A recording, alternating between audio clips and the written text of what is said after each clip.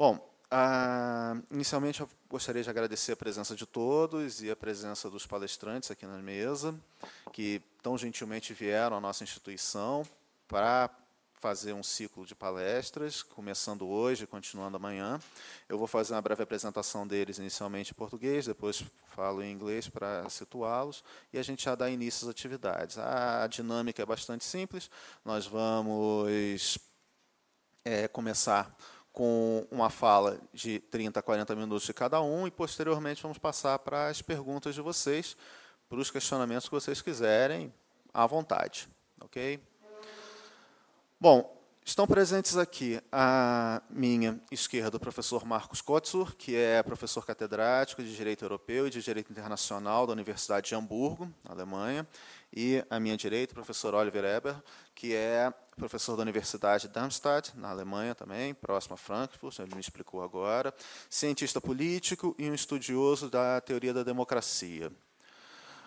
Well, Uh, speaking in English, in my poor English now, we have a, a, great pleasure to have here in our institution both Professor Marcus Kotsu and Professor Oliver Abel that will speak to, to you now, and also Professor Fabian Wittreck and Professor Martin Nettesheim that will talk to you tomorrow morning and are kindly here in our audience.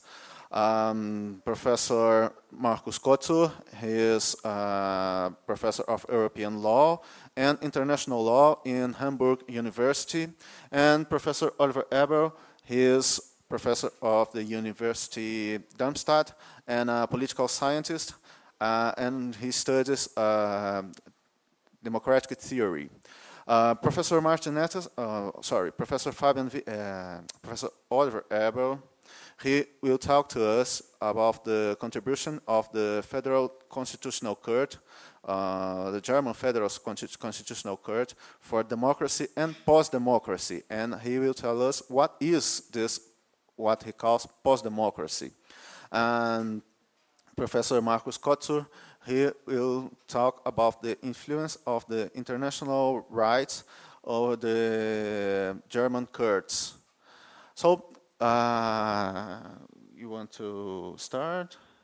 So uh, I pass the word uh, to Professor Eberl. And once more, I would like to like to say thank you so much for your presence here in our institution. And you have 30 to 40 minutes to talk. Thank you very much. Thanks for the opportunity to talk here. I'm grateful to the organizers. And um, yes, we all uh, have to talk now in our poor English, so um, please uh, take my apologies that I will read uh, my, my talk.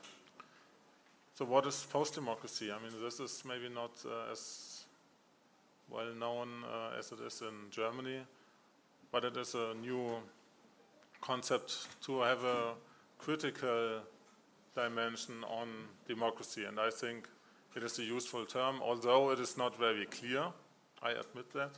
It is a, it is a term that allows us to think in a critical way to some, some uh, developments of our modern democracies. So I will explain it more, maybe not more clearly, but more advanced later. So I start by the, um, by the the success of the um, German Federal, Federal, Federal, Constitutional Court, which is widely acknowledged. The accolades for the German Federal Constitutional Court on the occasion of its 60th anniversary concurred that the court had contributed decisively to the success of Germany's post-war democracy. As uh, Christoph Schönberger says, the Federal Constitutional Court became the midwife of the second German democracy. That remains its central, central achievement. It uncompromisingly distanced itself from the poisoned heritage of the Nazi period early on, worked toward a fundamental liberalization of the German legal order, and corrected rigidities of the traditional justice system. This general finding End of quote. This general finding will be portrayed in somewhat more detail in the following and then contextualized in terms of the theory of democracy. Then the effects of the Federal Constitutional Court's successful functioning will be placed in the framework of a diagnosis, a diagnosis, diagnosis, diagnosis of our time. Taking Christoph Schönberger's and Christoph Möllers', two German mm, well-known legal lawyers and legal theorists, critical appraisals of the Federal Constitutional Court as a starting point, I will make clear that its success is closely linked to the implementation of a post-totalitarian model of democracy that precisely cannot be understood as the accomplishment of a strong democracy. So the success is a proof that not strong democracy has been uh, um, developed. On the basis of the court's specific way of functioning, I will then pinpoint its contribution to currently diagnosed post-democracy. Following Colin Crouch, who brought up this term, I consider post-democracy to be informal disempowerment of the legislator and erosion of political equality in favor of econom economically powerful private actors. Against this background, the court's success appear in an opposite light. What initially seemed to be a strengthening of individual fundamental rights and new democratic institutions can thus be recognized as an intensification of the post-democratic tendency. Thus, the success story of the Federal Constitutional Court has become an element of post-democracy that makes it more difficult to enforce social, social demands. So my first chapter is the con contribution, that's the positive way now to see it, the contribution of the Federal Constitutional Court to the establishment of West German democracy.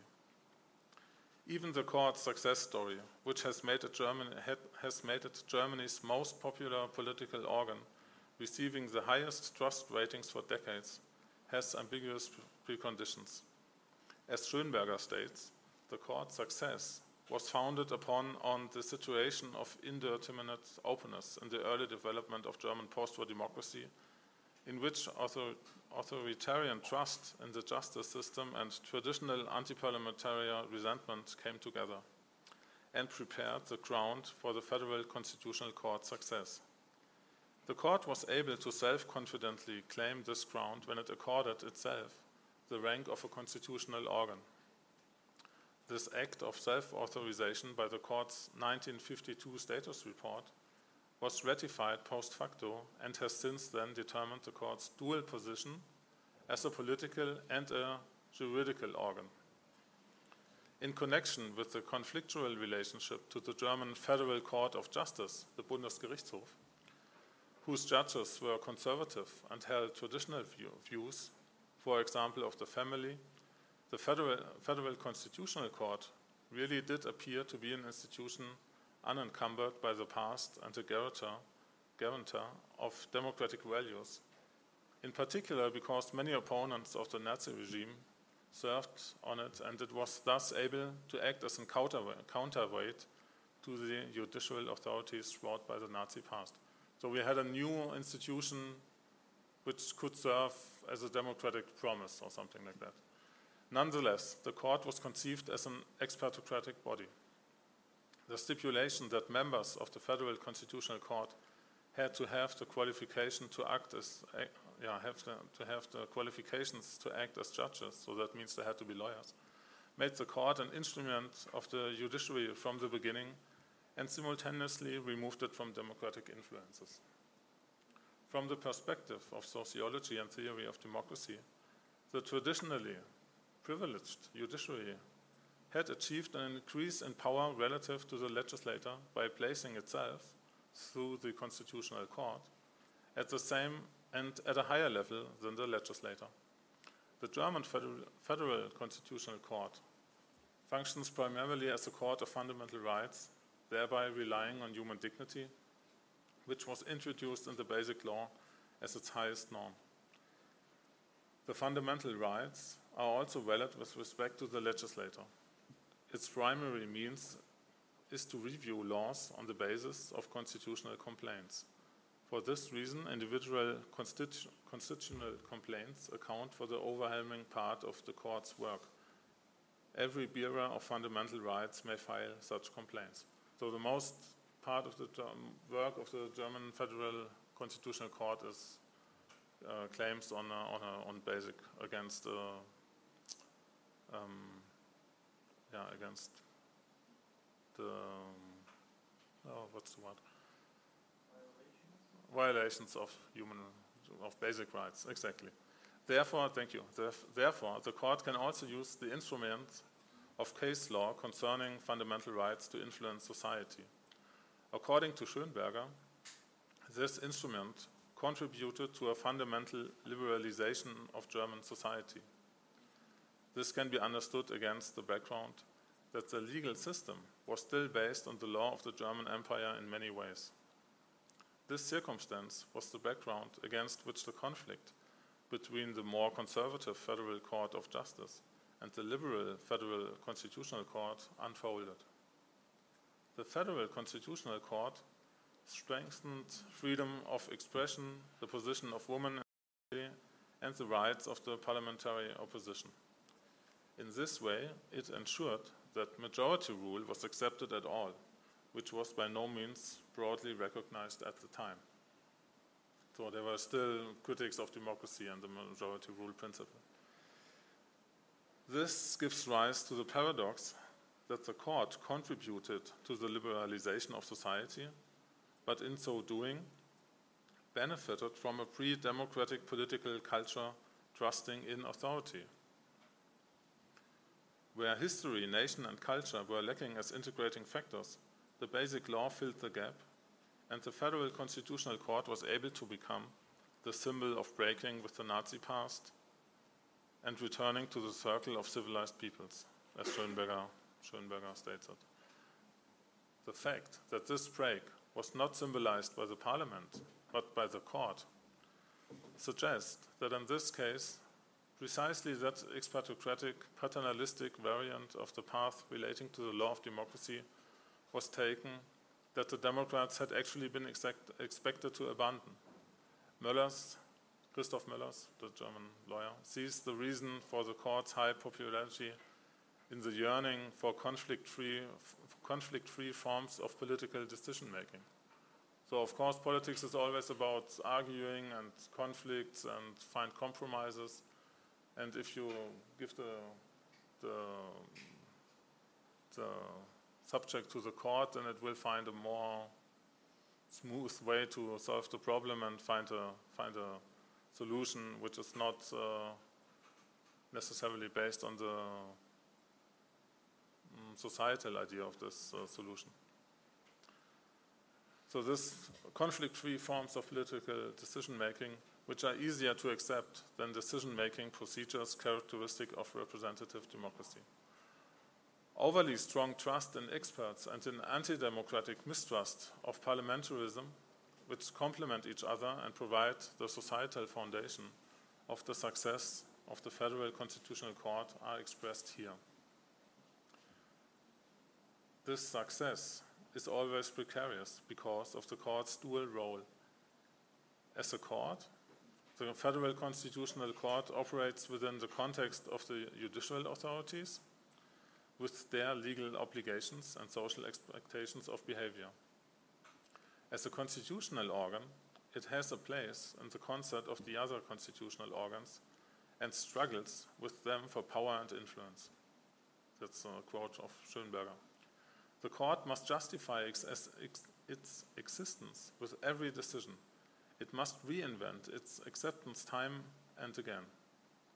That is the reason why it expends such great time and effort on providing reasons for its rulings, which at the same time are difficult for the general public to co comprehend. The court's dual character as a legal and a political actor results in tensions. For example, judges are precisely not held accountable for their decisions. In contrast to parliamentary procedures, reasons given by the court cannot simply rest on a majority without calling their own decision logic into question. It functions to preserve its own history of case law. Yet, the court does not only examine lower court decisions, but also takes on legislative functions itself. In other words, by granting itself greater powers as a constitutional organ, the court has put itself in a complicated position. It has to justify and distinguish itself as opposed to the legislator, but must do so as a court and cannot simply argue politically. Because of its specific function, it usually does so in the context of individual constitutional, constitutional complaints. Legally speaking, this is the reason for the success of the Federal Constitutional Court. Constitutional complaints open up direct access to the court for citizens who must present their concerns in the role of holders of right whose fundamental rights have been violated. The court has made constitutional complaints easier but has re responded to this by objectifying legal protection by means of a way of selecting cases that is difficult to understand and hardly governed by rules, as well as generous way of applying patterns of weighed abstract principles, weighing abstract principles. So the problem is you have when you have this principles like freedom of expression and personal rights of personality, I mean, you will get you will get a decision, but you don't know what decision. No one knows what decision will will be uh, taken by the court. So that's that's what I mean by weighing, and uh, how what what um, Möllers and others mean by weighing. Objectifying means that the court seeks out cases that are to be accorded general significance, transcending the individual case. Then the court balances the various legal principles. To this day, and especially in its early cases, its methodology in so doing has been similar. So that's now, uh, maybe it sounds harsh, but I think it's correct to, to say so. So its methodology in so doing has been similar to that of Nazi jurisdiction, namely ori orienting stat statutory, oh man, statutory law to textually vague provision that are hier hier hierarchically superior. So that means they, this idea of um, finding ways of weighing between abstract principles, that is something that occurred in the anti-positivistic way of uh, finding uh, um, mm, court's decision by the Nazis. So in this way, Möllers also disproves the assumption that the Federal Constitutional Court successfully protects minorities. I mean, this, this is what is, uh, is often said, well, the court is good because it protects minorities. Using the, and I think this, this example is very convincing, using the example of freedom of religion it is easy to discern that, on the contrary, Christian majority milieu always enjoy protection. When Muslims began to invoke religious freedom more and more, limits were placed on this protection. So, if it's if it's not in the majority uh, in the majority in major, yeah, if it's not the way that the majority thinks, then the court the court can still take back his former decisions and then you don't get the protection you expected. So my second part is about this success story in a historical context as, or in the, and in the systematic context of post-totalitarian democracies. It has become clear that the success of the Federal Constitutional Court, which makes it the political institution held in the highest esteem, rests on premises of the totalitarian past.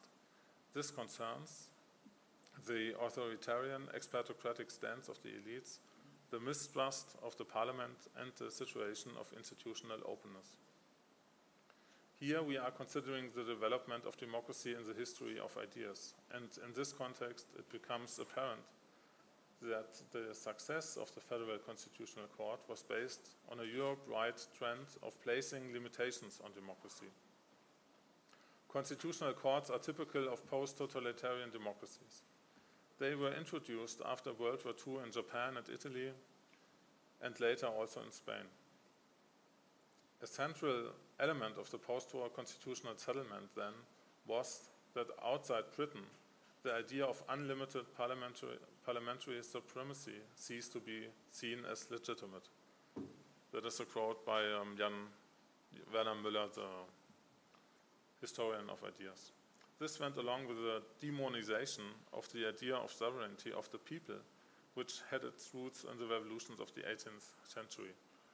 That is uh, the subject of uh, many works from Ingeborg Maus, who was my academic teacher.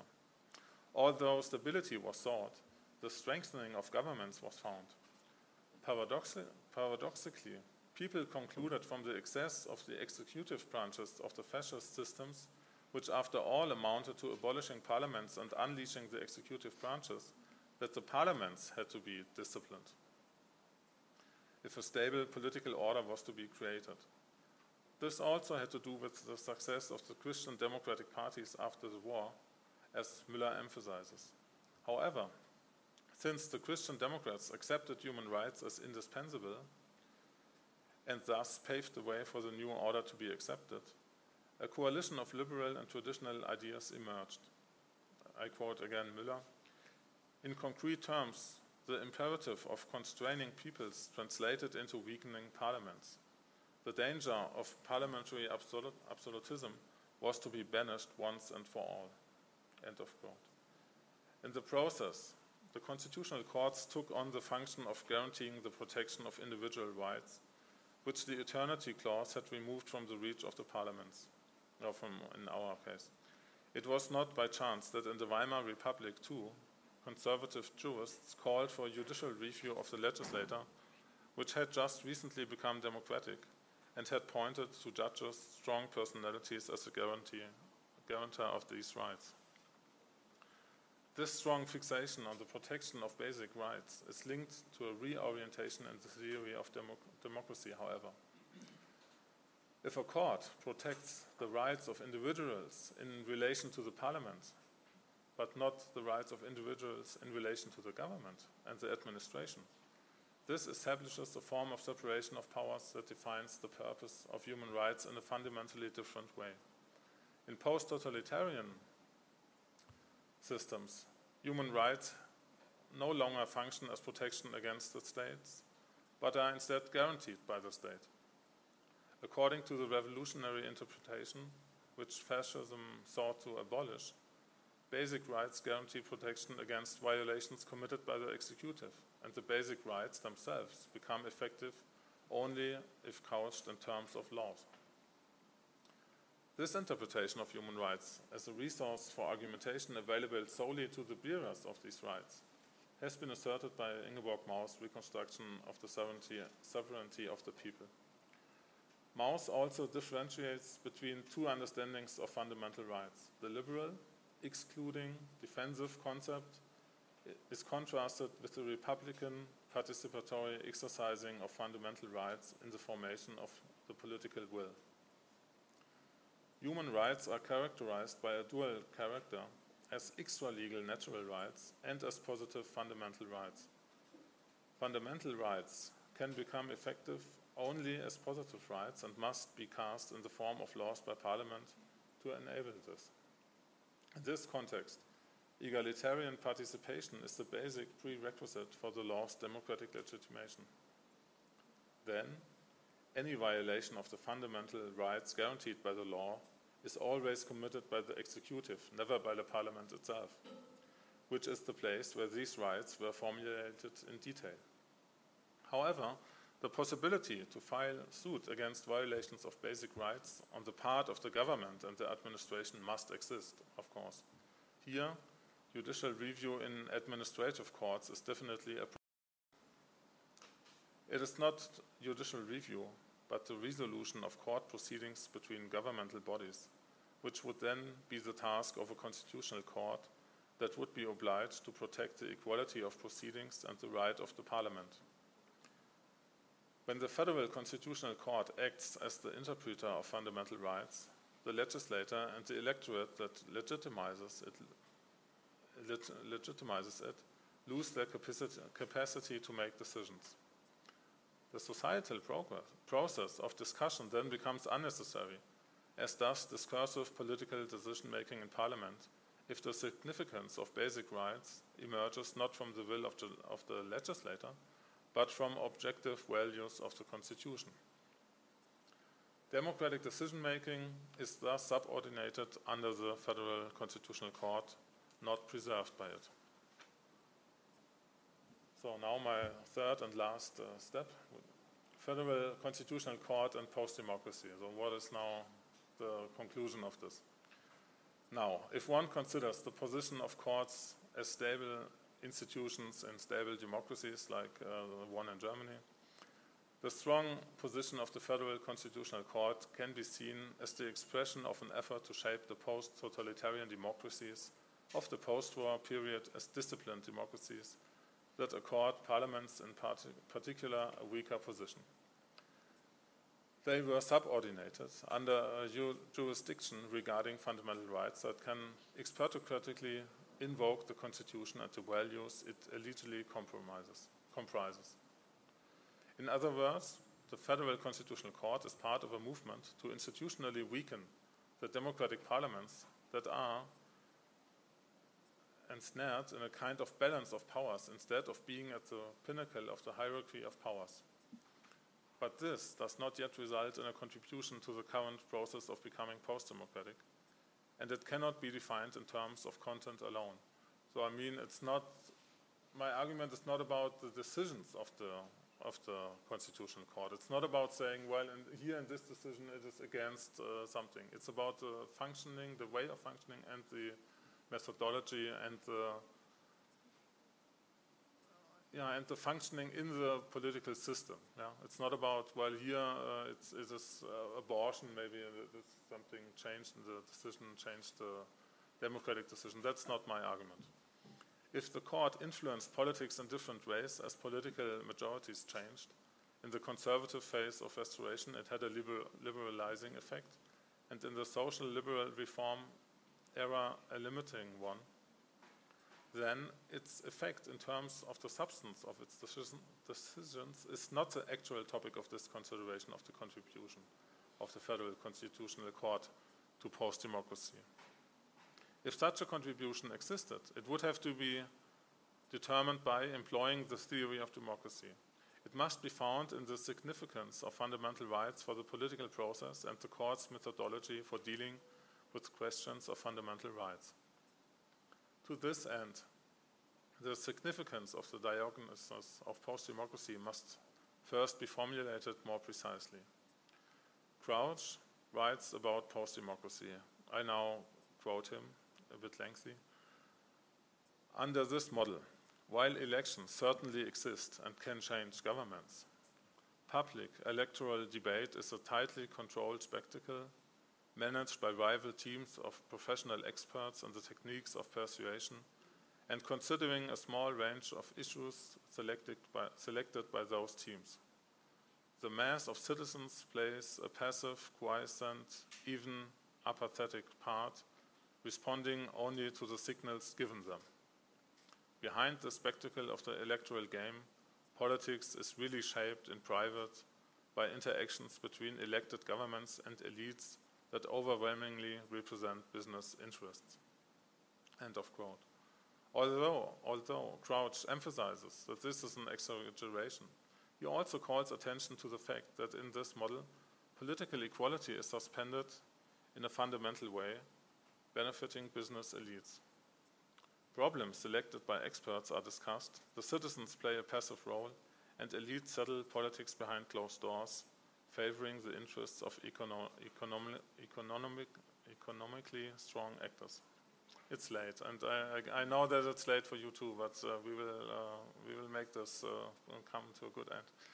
Crouch's analysis of post-democracy lacks consideration of jurisdiction because he is concerned with the question of the paralyzers and re-invoke re of politic of political movements and parties, in particular with social concerns. So of course he's a social democrat. Yeah? He is always concerned about the social democratic parties. These are traditionally presented on the street and fed into the political process from there. If these paths of the streets are blocked, or if no significant movements come into being, the option of resorting to the court still remains. This does not require a political movement. This path could thus be considered as a strengthening of a movement or a substitute movement. Activists specialized in legal disputes could represent as advocates the concerns of a movement too small. However, this is linked to the fundamental problem that democratic power to shape policy is translated into juridical power to block developments and not to shape from bottom up. After all, one can only file suit against laws that have been passed, but one cannot file suit with the goal of having laws adopted that have not yet been passed. Democratic activity is thus refashioned in a right to resistance directed against the authorities and consequently falls back to a pre-democratic model. Besides this transformation of democracy into pre-democracy, the translation of political questions into, question, into questions of fundamental rights generally results in a depolitization and thus post-democratization of politics. Political questions that are negotiated as questions of fundamental rights are not only removed from the political process and transferred to the court for decision making, in this way they are also rendered unrecognizable as political questions because the court must place them within the chain of its case law and the logic of its case law. In other words, complaints against violations of fundamental rights are often an opportunity to achieve the repeal of an undesired law outside of parliamentary discussion and decision making. Individualized complaints against a violation of human rights are then an attempt to influence policy by other means. The methodology of the Constitutional Court strengthens the expertocratic effects of fundamental rights and practically demands people to articulate their concerns as being violations of fundamental rights. If they refer to human dignity, then the proceedings will be particularly promising and far-reaching, since reference to human dignity is the court's terrain par excellence. An impressive example of dealing with questions of human dignity is to be found in the context of social legislation. When the complaint was filed that the standard Hartz IV benefits, that's the social welfare payment, uh, which is now reorganized in this Hartz IV.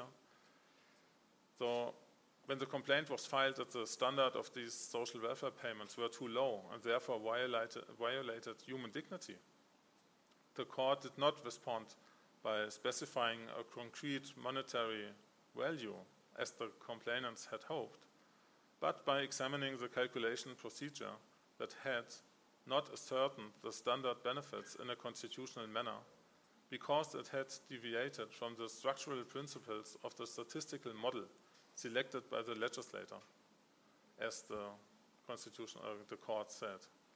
In so doing, it made a connection to its rulings on taxation in line with reality, but nothing saying about the, uh, the real pro the, the problem of the amount of money. According to Möllers, the court thus considered the legislator to be like a government agency that is to be bound to rules. However, it also changed the interpretation of the purpose of the complaint. In this case, the, acknowledge, the acknowledged right to a social minimum means of subsistence became the right to a rational legislative procedure. This decision results from the court's orientation towards its own case law. In this manner, a type of logic unfolds in which standards take on a life of their own, retaining the consistency of case law without helping the parties or the political process. Möllers, from which uh, was taken this quote, elaborates in particular how a problem relevant uh, to theory of democracy emerges from the call to respect standards of legislative rationality. For this demand treats Parliament like an administrative body whose actions are to be measured according to rational standards, even though politics, and that's, I think it's a very um, con convincing observation, even though politics also includes a voluntaristic element that virtually requires inconsistency. So it is just possible that you, you start a social reform and you start at, the, at one end and you don't have a coherent system after two or three years, but uh, to make this change happen, you have to start somewhere, and then it's not in this uh, demanded rationality. In other words, where political compromise and legislative asynchronism may be expressed, the court considers the rational standard to be violated. The consequences of this are not insignificant. In not insignificant. After all, This privileges the status quo in relation to new rules, and in some fields of law, says Möllers, for example tax law, it results in a redistribution from the bottom up.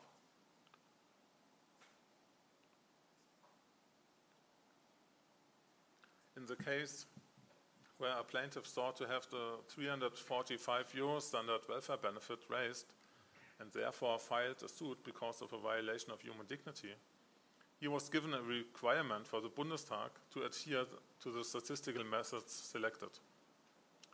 The court sought to find the standard benefit unlawful, but was unable to do so precisely on the basis of the clause regarding human dignity, which simply does not permit it to determine from which amount on human dignity is or is not violated.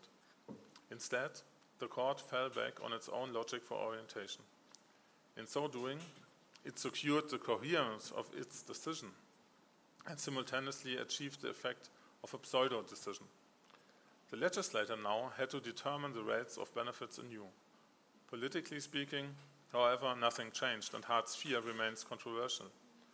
If post democracy amounts to experts and elites depriving the parliament of its right of decision and upholding the formal democratic procedures, then this decision reflects a large degree of post democracy. The court maintained the impression of formal procedures and decisions, but defended its own competence and instructed the legislator of legislator as if it, namely the legislator, were simply an administrative body. From a political point of view, the plaintiff was unsuccessful. Thus, the court contributed to depriving the parliament right of decision and pacifying political disputes that it ostensibly resolved. The translation of political questions into questions of fundamental rights that are to be solved expeditiously, using terms as vague as human dignity, further deprives the legislator of its right of decision but it is democratically correct. Because of the intrinsic logic of the court's decisions, decision making is further removed from the political process, thus strengthening the post democratic tendency. An alternative could lie only in the court placing radical limits on itself. But this is hardly to be expected in a situation in which it is threatened by transnationalization and European courts. It is precisely the court's success story that could thus result in it continuing to work unflaggingly, which will, however, in the end only maintain the court's post-democratic appearance. Thank you very much.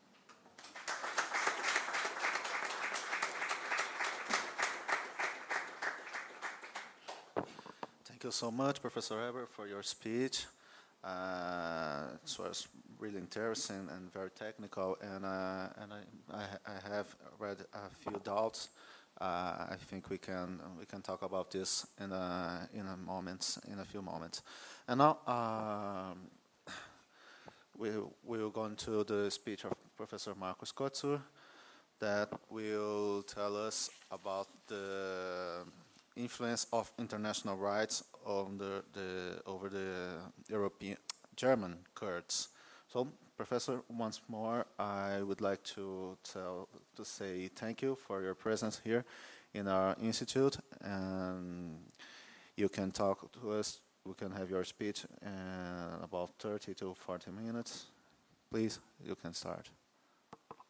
Thank you very much for that very kind introduction, and of course, thank you very much for the invitation to Brazil. Ladies and gentlemen, you just heard a critical appraisal of the German Constitutional Court as a very powerful court. And I give you also a perspective on that court, but from a different angle. I give you a perspective on how the German Constitutional Court operates and argues from the perspective of international law, public international law, as well as European Union law. And to make it a bit more easy to follow the speech, I have a structure here which I ask you to contribute. So that helps, first of all, to follow, and it also helps because you see that things will sooner or later come to an end. I will start with a quote that you might have heard before, but most likely not in a legal context. No man is an island, entire of itself. Every man is a piece of the continent, a part of the main. And we could go on and say, no court, at least today, is an island. When John Donne, one of the most eminent metaphysical poets of British origin, wrote these famous words in 1624, modern day globalization was, of course, as much inconceivable as a global network of course. Since then, the world, however, has tremendously changed, and this holds true also for the legal architecture. 21st century legal thinking has introduced a very ambiguous term, the term of world law, a term you might have heard before. Reference is made to any rule having, regardless of its legal source, a global scope of application and consequently claiming maybe universal normativity. The terminology, of course, varies. Next to the concept of world law, the ideas of a common law of all mankind, of a law of humanity, or less solemnly, global law, respectively transnational law, are introduced. Notwithstanding clear theoretical distinctions and different practical consequences, all these conceptualizations can be traced back to one common baseline notion. The formerly sharp separation between the domestic and the international sphere and in parallel, an understanding of international law as largely intergovernmental in nature is replaced by what we can describe as a new matrix, the global legal space.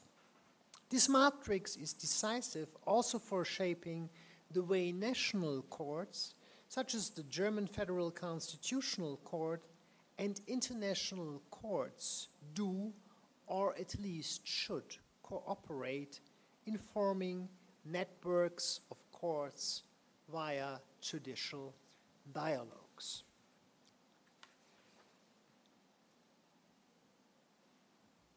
Networks of courts via judicial dialogues. The German jurisprudence and the German literature has introduced a very interesting term which is very difficult to be translated into English or any other language. It's the term Gerichtsverbund. Verbund. You might have heard the term before.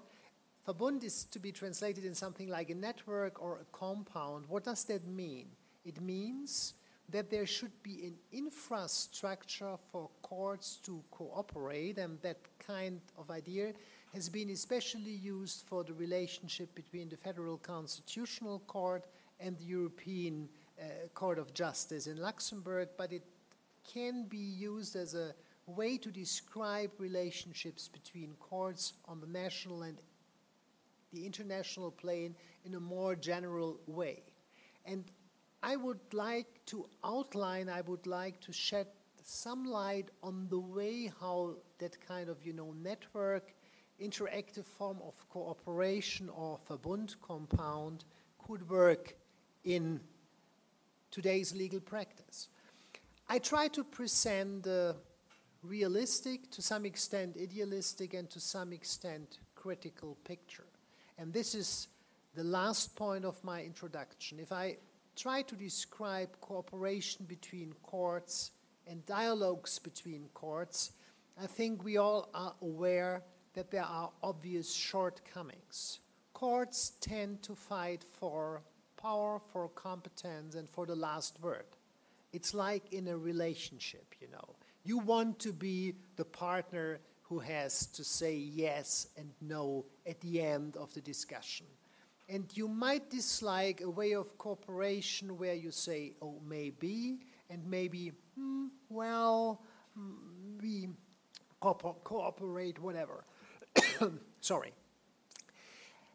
Maybe it might be very wise in the relationship between courts not to ask who has the last word, and uh, I would like to start my introduction, or to finalize my introduction, sorry, with another quote, a quote by a former British judge at the Luxembourg court, uh, Sir Schiemann. He said at a conference in Freiburg when he was debating with one of the judges of the German Constitutional Court, well, I tell you something. You are always so fond of, you know, competencies and who has the power of the last word of ultimate decision making. I disclose you now the secret of my relationship with my wife during the last 40 years. The only secret is that we never brought up the question of who has the ultimate say and the last word. And that might be also a description, it might be also a matrix for the cooperation and the interplay between courts on the national and on the international plane.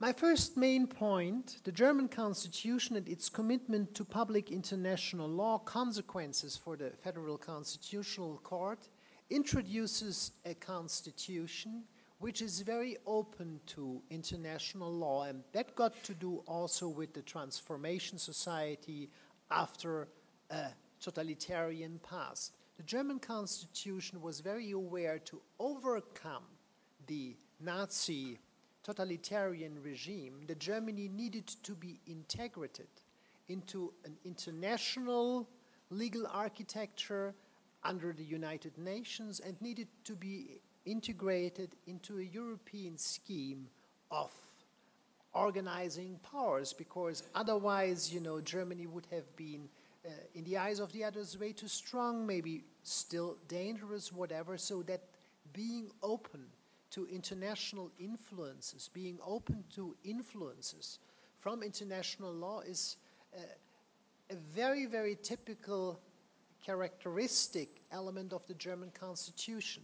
And I think the easiest way is that I provide some text samples from our constitution to say and to describe how open that constitution is to international law. And it might be very interesting later on in our debates to see whether the Brazilian constitution is as open to international law, maybe even more open, and how uh, the Brazilian constitutions positions your country towards the international community. I start off with the preamble of the German constitution, and I quote, conspicuous, uh, sorry, conscious of their responsibility before God and man, inspired by the determination to promote world peace as an equal partner in a united Europe, for Germany in the year 1949, it was maybe wishful thinking being an equal partner in a united Europe. The German people, in the exercise of their constituent power, have adopted this basic law. This was also not exactly true because there was a very, very strong influence by the Allies. But the opening phrase of the preamble made quite clear we want to be a member of the international community, we want to be a equal partner, we want to be integrated into a united Europe, and we want to promote worldwide peace. This is one of the most important aims and purposes of our constitutions. A second text example. Article 1, Section 2, very close to the human dignity phrase you already heard about, says something very important.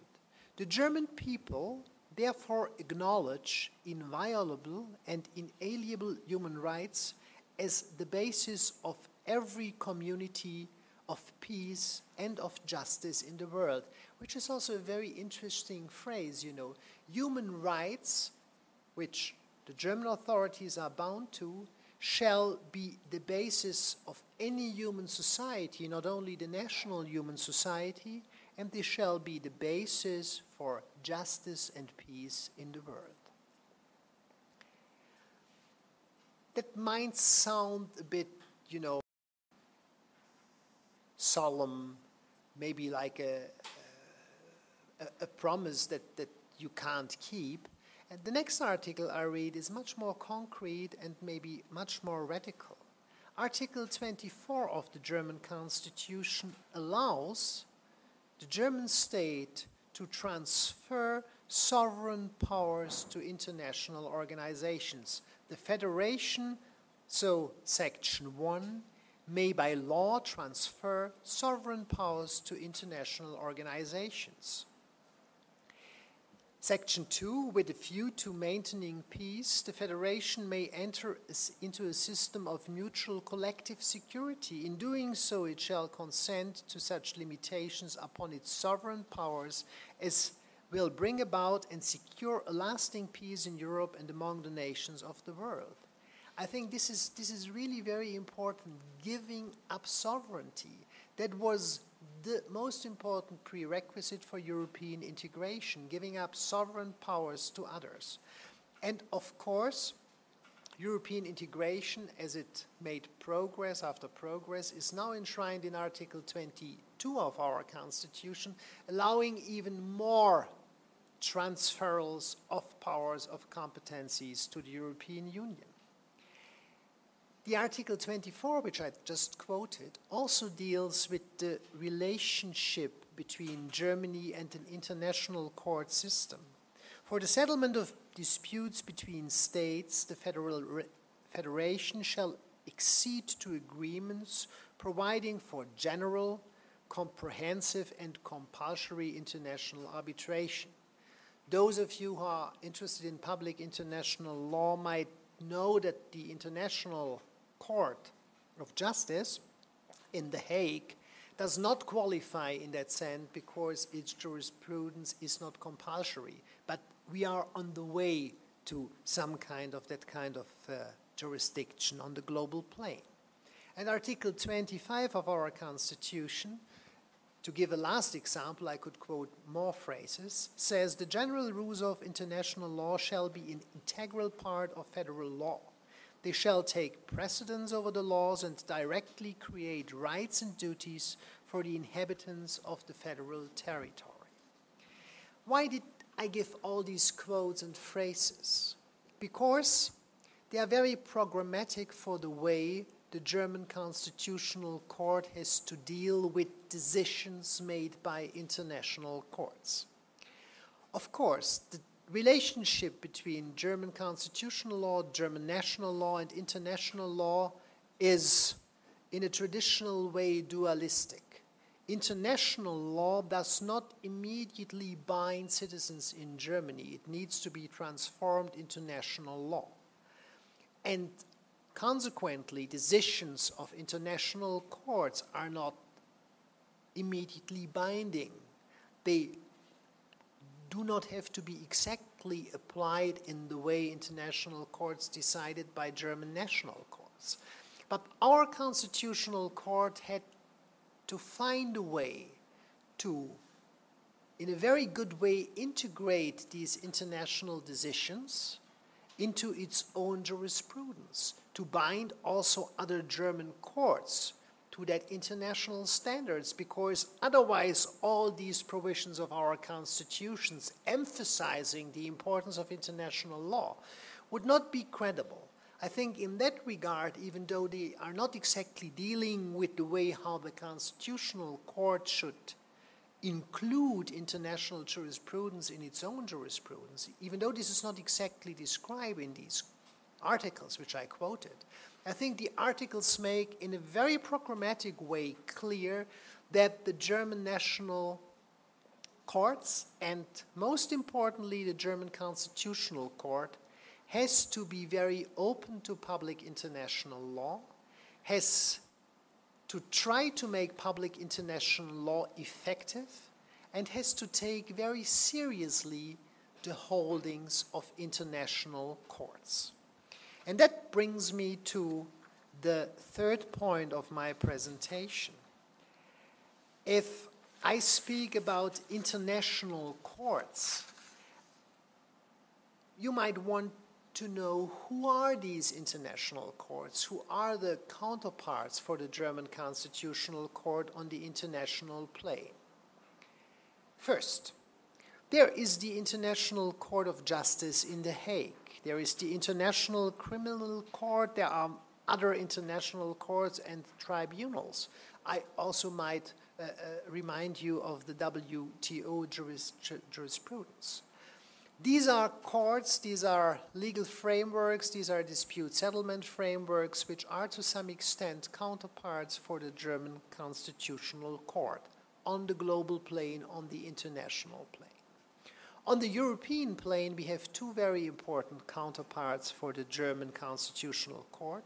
This is the European Court of Human Rights in Strasbourg, and this is the European Court of Justice in Luxembourg. And you might imagine that the relationship between the Federal Constitutional Court and the Luxembourg Court is the most tricky one because here we talk about the competence framework of the European Union, the power of the Union, and the power of the member states. You will get a detailed presentation regarding that topic tomorrow by Professor Nettesheim. He will deal more pre precisely with that question and remind you of a, huge variety of decisions by the Federal Constitutional Court, where the court tried to find its place, where the court tried to define its powers towards Luxembourg, sometimes in a very open, sometimes in a very critical way. Sometimes the court did claim the last word, sometimes the court said, yeah, well, in theory I have the last word, but in practice, you know, yeah, I can live with what you said, you know, like in a like in a relationship, you know, I'm, I'm right, but well, maybe we, we need to live together kind of nicely also, in the future. Therefore, I'm accepting your position.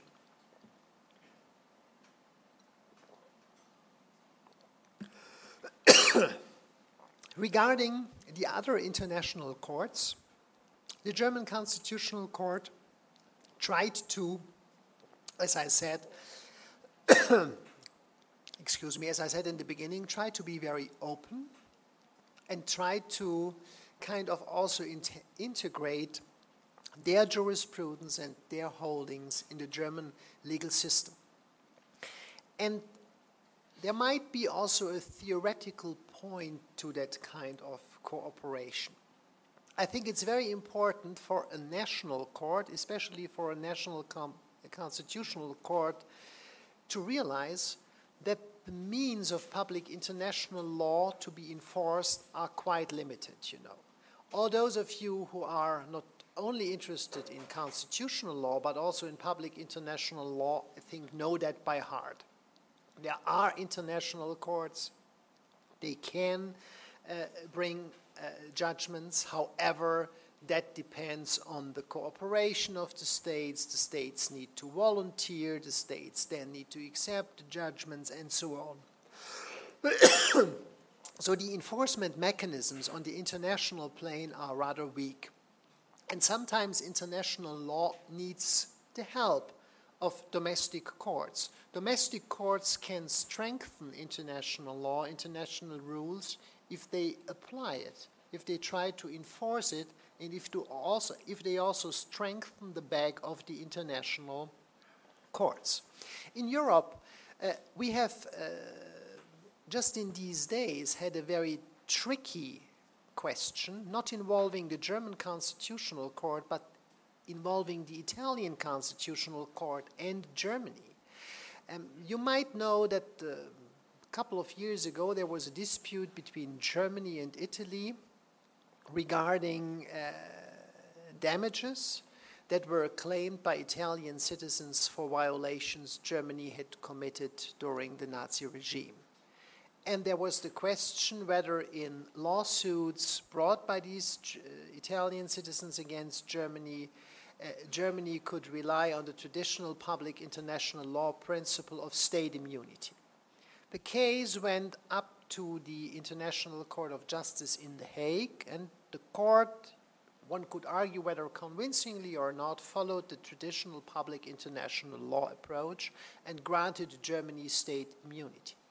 Just recently, the Italian Constitutional Court issued a judgment saying, well, uh, we don't follow this because that was such an infringement, such an outrageous infringement of human rights that damages should be paid, and in cases of such an infringement of human rights, we interpret state immunity in a more restrictive way. And I think that story is great to tell the problem of potential clashes. The Italian Constitutional Court did also take seriously public international law as the German Constitutional Court does. However, there is a tricky question who is to, with ultimate authority, to interpret public international law? And there are always two ways. A national court, a national constitutional court can say, I follow the interpretation which has been given by an international court, by an international tribunal, and it might be a wise decision to follow the International Court of Justice because this is, regarding public international law, one of the ultimate authorities. On the other side, a national court can also say, yeah, I am to judge. I am also to interpret the principles of public international law. I'm to weigh these principles in the light also of my constitutional system, and I might come up to, I might come up with a different result. And this is where, you know, clashes can start. Therefore, I brought the Italian example because the Italian Constitutional Court, exactly as the International Court had done, relied on the principle of state immunity. However, the Italian court said state immunity is less absolute than the International Court of Justice had said. In the case of such an outrageous infringement of human rights, a national, a nation state cannot rely on its immunity anymore, and the International Court had judged in a different way.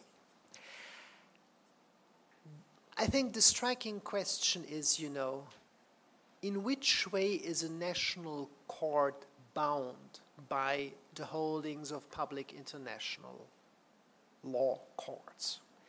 Public international law gives a rather clear answer to that. By public international law, the state is bound.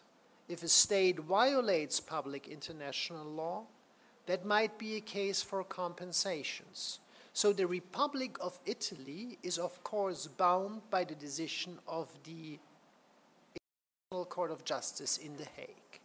This does, however, not mean that national Italian courts have to exactly apply the holding of the International Court.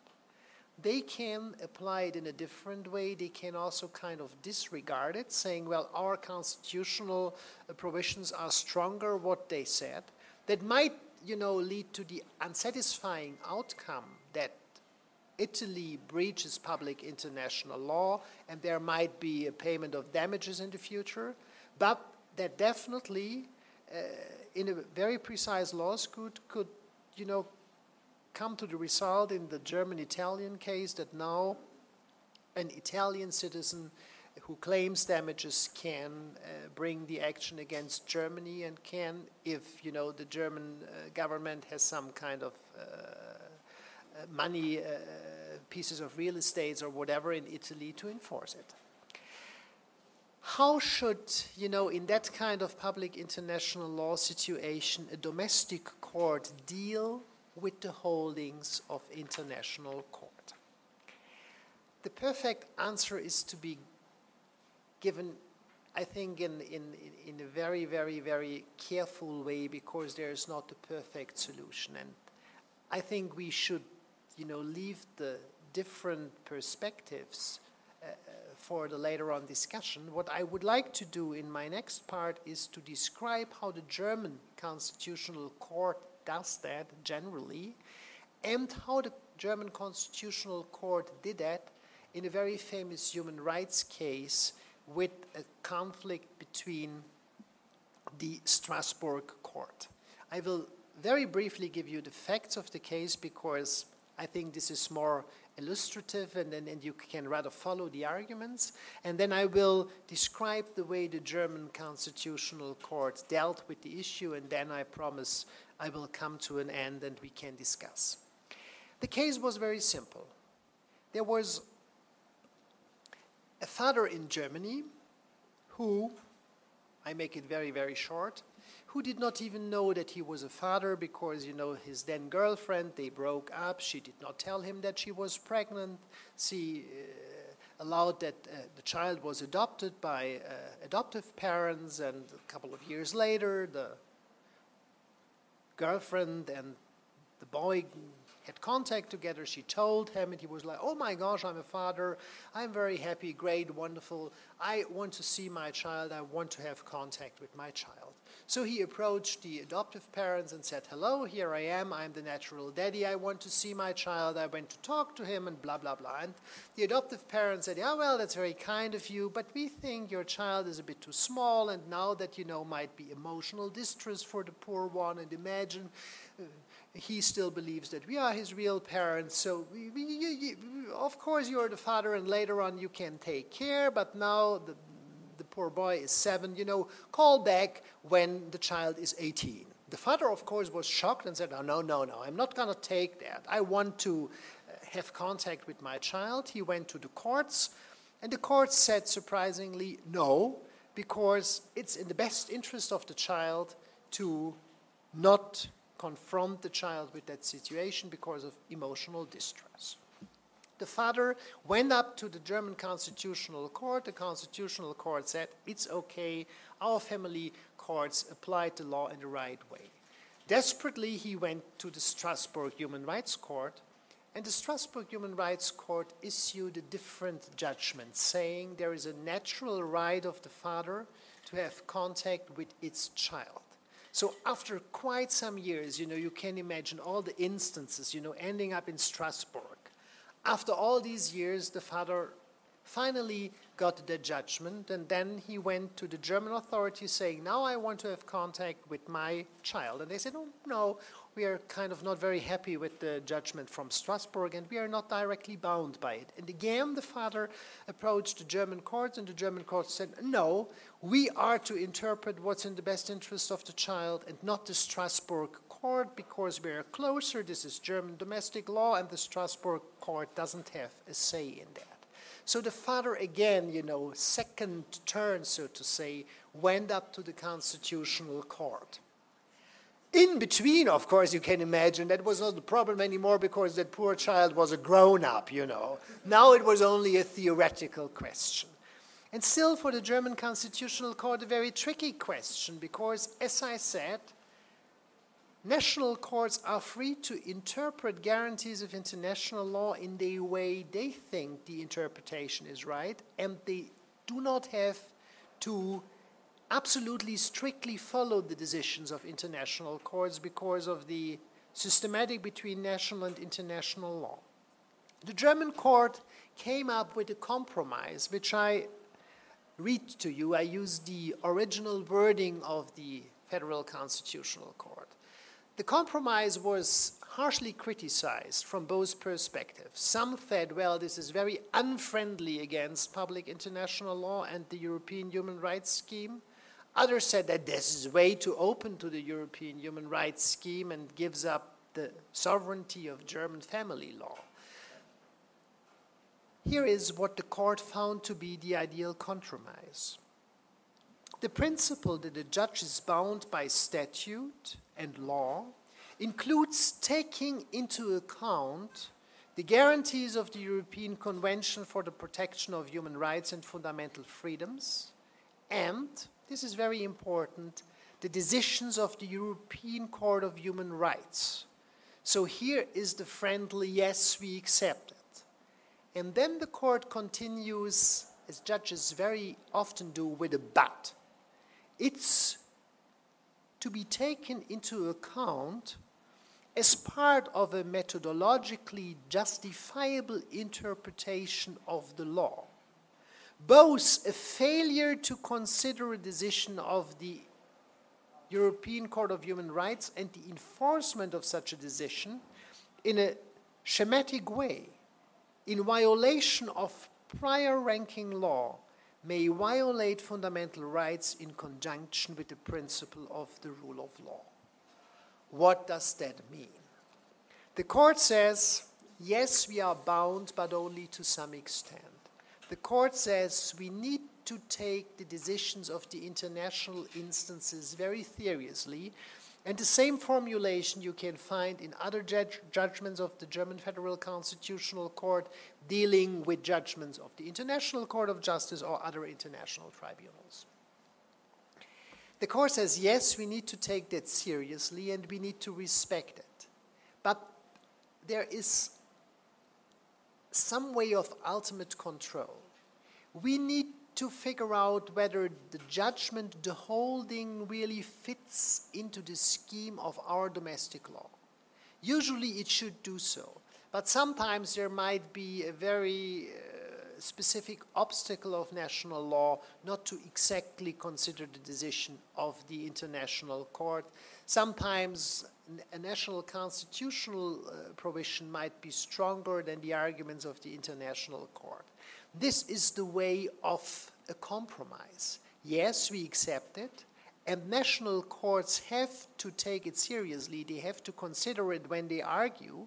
If they uh, disregard it, if they neglect it, that's an infringement of law because they are bound by these rules. However, not in a schematic way, not without weighing, not without also giving some weight to the domestic law, to the domestic legal system. Is that the ideal compromise? My final remark, and you know, I want rather to have an open discussion with you from your Brazilian perspective also than to, you know, go into further details at nine o'clock in the evening. Is that the ideal compromise? I don't know. There are many good reasons to say that kind of wishy-washy, schematic integration, blah, blah, blah, is not strong enough. The court disregards the international instance, disregards the European human rights scheme. However, there are also good arguments to say, yeah, well, the court gives enough weight and still keeps a window, a door open for the application of national law. So the final judgment depends on your perspective. And the only thing I can say in regard to that controversy is what holds true for any relationship. You need to talk. This is what the German court and the court in Strasbourg did, what their relevant presidents did, and the words they used were to some extent harsh, but they still can live together, maybe not in a perfect relationship, but in a relationship. And this is quite something. Thank you very much for your attention.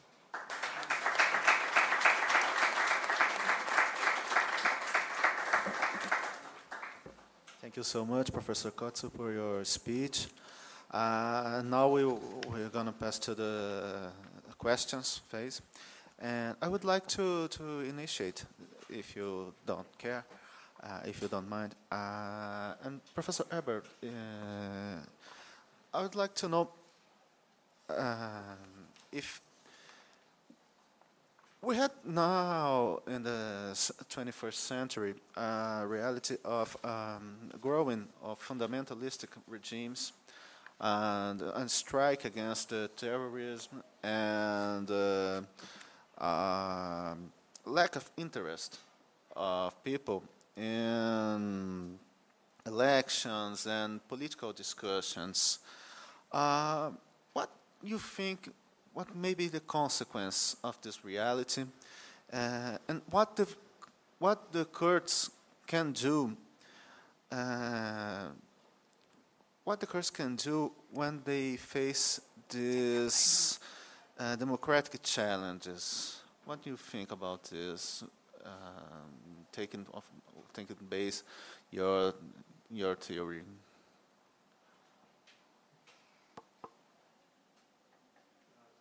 um, I mean, I, I, said maybe the courts could say uh, we cannot decide this question. But of course, uh, I know that this is not possible for courts because they have to decide, so okay. But um, that's the, I mean, that is the um, starting point of my argument because they have to decide, they decide, and and what they decide is not uh, necessarily um, uh, in the democratic sense, but it's more in the logic of, of the courts. Okay, but what can the courts do against um, democratic um, challenges. I mean, maybe they maybe they could yeah, maybe they could change their um, their reasoning and and uh, make uh, their arguments more clearly and um, could maybe talk less technocratically and um, and uh,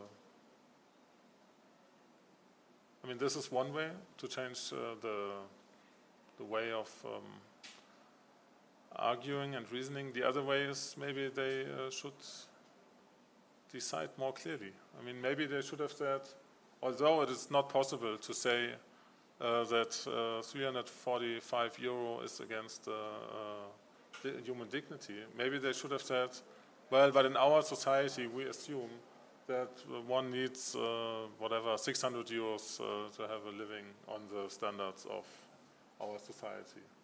So although this is, it is not um, written in the constitution that 600 euros is the standard, but maybe they should have said it and then on, in this way give it back to the political decision. Maybe, maybe that's, but I don't know. Um, I mean, the, the thing is that uh, the trust in the decisions of the courts, they lead to apathy and uh, they lead to an to uh, disinterest in, in, in, politics. But, but you, you think it's possible to the, the American Supreme Court, for example, to say, no, we don't want the Patriot Act, or uh, when the, the, Supreme, the American Supreme Court uh, had to decide about the Patriot Act, the legislation against the terror from George Bush government. Uh, are they legitimate to say, no, we don't want one, a kind of, of legislation like that, even if it, uh, it has a, a, large support uh, between the society? Mm, yes, the Constitu American Constitutional Court could have said uh, Guantanamo is against the American Constitution. But it said, okay, because it's in Guantanamo, it has nothing to do with the American Constitution. Yeah. So, uh, so this was again a case of judicial, uh, juridical, no, what is it? Juridical judicial. restraint, judicial restraint. And uh, of course, this is for political reasons. So if there is, if there is a really uh, political uh, matter to decide, then uh, the court, maybe in the American case, um, says, oh, it's not our issue. So maybe they should decide and then say, well, it's not, uh, it's not legal. It's not coherent with the American Constitution or international law, which is also another.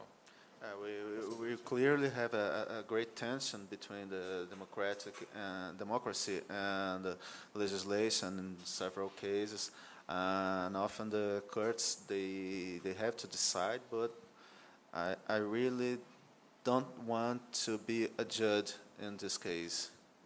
I really don't know how to decide one case like this. Oh, thank you so much Professor Eberl. Uh, Professor Marcus uh, I, I, have a, a curiosity uh, your speech uh, about your speech. Well when we, we think about the, the, the, process of application of international law, um, we have uh, we have now a, a, a, a um, growing legislation, especially about human rights uh, and international law, mm -hmm. uh, and several times we have a difficulty to understand how to apply this legislation, considering the differences, the cultural difference between peoples, especially uh, when we think about this relation north and south or east and west. Uh, you think it's possible to universalize the interpretation and application of international law uh, and consequently to have effectively uh, universal international law. It, it, it was on already. I, I'm afraid it's not possible to completely universalize legal standards and uh, let alone the interpretation of these standards. I think there is, you know, the only way that on an international plane one discusses these problems and one focuses on the potential that, you know, some core standards of human rights might be universally applicable. But I think it's much more effective, you know, if national political systems, if national constitutions try to implement the international standards in their legal system, give them effect, and translate them into their legal scheme, into their cultural scheme, maybe we would come, some kind of slight differences. You know, the right to life might be the easy case because this is protected in, in, in more or less any legal system, and, and, and abuses, of course, take place, but, you know, in constitutional systems where they take place, the governments would uh, claim that they do not take place. You know, it might be then a problem that you have a semantic constitution. But I think this is the most eff effective way to implement these standards of public international law, and then also via implementing to take serious the decision of international courts. And even, you know, you can say eh, in the case I described, what the German Constitutional Court to some extent is very unsatisfying because he kind of challenged the Strasbourg court and not easily followed. In another way, I think it, it's also a prospective judgment because there is a clear statement you need to take seriously what the international court says. And if the national court fails to do so this is an infringement of a human rights standard. And i think this is exactly the way the whole process can start because then the domestic judge needs to get into the whole business. The domestic judge needs to read the judgment of the international instance needs to get some information about the international legal scheme. Maybe the domestic judge at a lower level does not know a lot about public international law. He has to learn about public international law. He has to take the decision seriously. And this is the way, you know, a dialogue starts. If I say judicial dialogues, you know, and I'm not, I'm not idealistic in a world that, you know, I imagine now all judges of constitutional courts worldwide sitting on round tables discussing and, you know, coming to solutions and saying, saying, yeah, that's the way we do it for now and forever. That's not going to work, but I think a judicial dialogue can exactly start in that way. And if a national court is forced to take that seriously, that will indeed strengthen public international law and its enforcement. And I'd be interested to learn, you know, how, how things like these are dealt with in Brasilia, in Brazil, whether there is a, a provision in your uh, constitution that you have to do so and, and how the constitutional court reacts to public international law. This is a, this is a perspective which, uh, for a comparative approach, I think is, is a very important point, and, and maybe we also can learn a lot from the Brazilian constitution, which, as far as I know, is quite open to public international law and tries to take really seriously. This is also a way where, you know, our constitutional courts can talk with each other, and I know from, from both presidents, the president of your court and the president from our court, that this, you know, happens every once in a while, and that delegations from Brazil come to Karlsruhe and vice versa, uh, judges from Karlsruhe here to, to Brasilia. I think this is, this is exactly the way it starts, but to take seriously the judgments of international courts and instances, and I repeat again, to take them as a part of a methodologically justifiable interpretation of the law.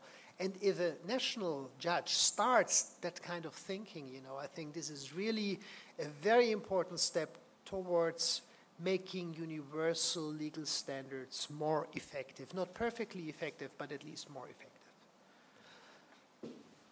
Thank you so much. Uh, if you want to make uh, any questions, um, se vocês quiserem fazer as perguntas em português, a gente tenta também traduzir aqui, fica à vontade, tá? Por favor. Bom.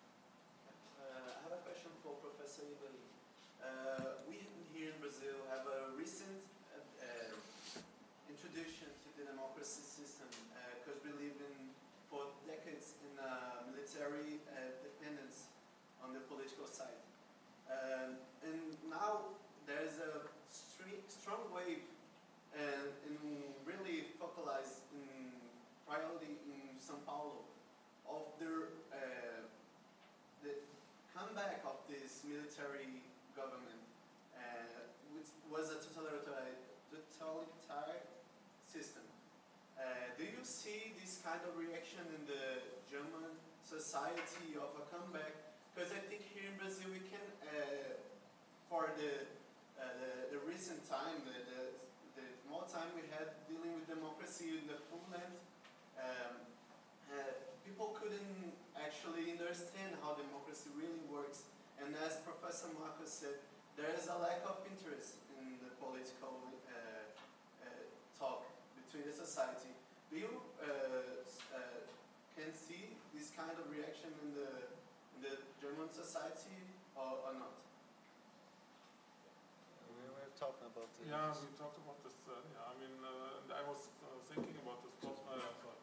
I was thinking about this problem that, um, as I see it from from Germany, from outside, Brazil has a strong movement, strong political movements. I mean, you social social um, uh, measures are always discussed, and uh, you have now these new ministries for every uh, small things like jobs and welfare and whatever. And so you, the social question is really addressed here. I mean, maybe it's not solved, but it's discussed. And uh, and again, you have now uh, the fourth time a socialist as uh, president. So um, maybe these more left or whatever, more more democratic. For me, for me, it's also democratic. But uh, this democratic and left politics um, maybe leads to this movement against this and, and asking uh, again for authoritarian politics and, and maybe a system, political political system. So I, I could imagine that this uh, movement in Sao Paulo, this uh, authoritarian movement, is a reaction to the strong, or at least in my view, strong um, political movement and success maybe of the of the democratic um, way of Brazil.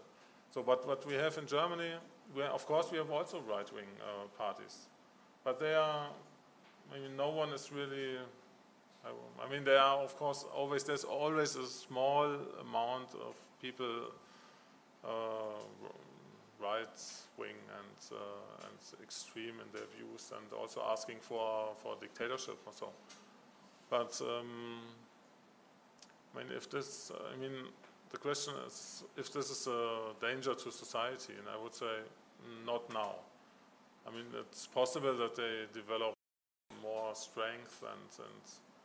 But we have, of course, always uh, this anti-politic uh, parties. They, they try to get out of the EU or out of the euro or out of international obligations, and, um, and maybe they, maybe they are uh, more successful than these extreme right-wing parties.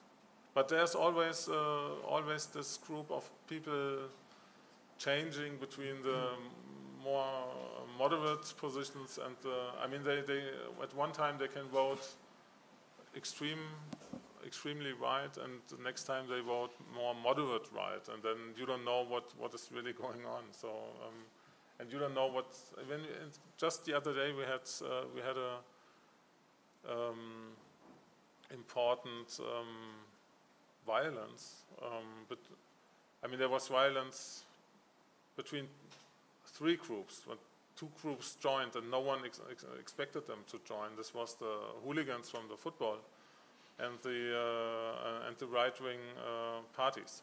So they joined against the Islam, uh, the Salafist uh, uh, movement. So and and there, and there was violence in, in Cologne.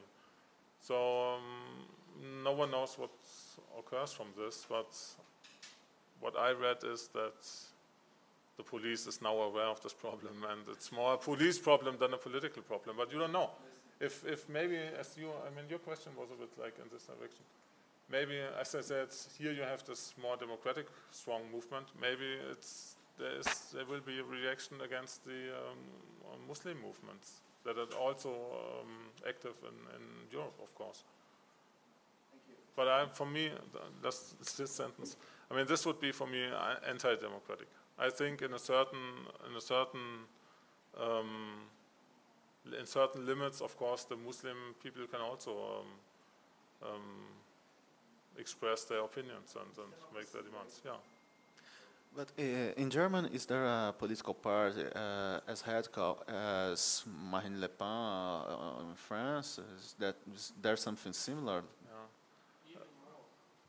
Yeah, there are more more parties, but they changed. So we don't have this uh, stable uh, stable party like Le Pen and this one figure. I mean, there's every five years another figure, and uh, and then they disappear, and then they join and rename, and uh, that's sometimes even too much for the voters. So, um, but there are always at least five percent waiting uh, for right-wing party, and this can also be ten percent. So, but now we have a new. Yeah, well, they say liberal. So we have a radical liberal party uh, which is uh, nationalistic, and they get 10%.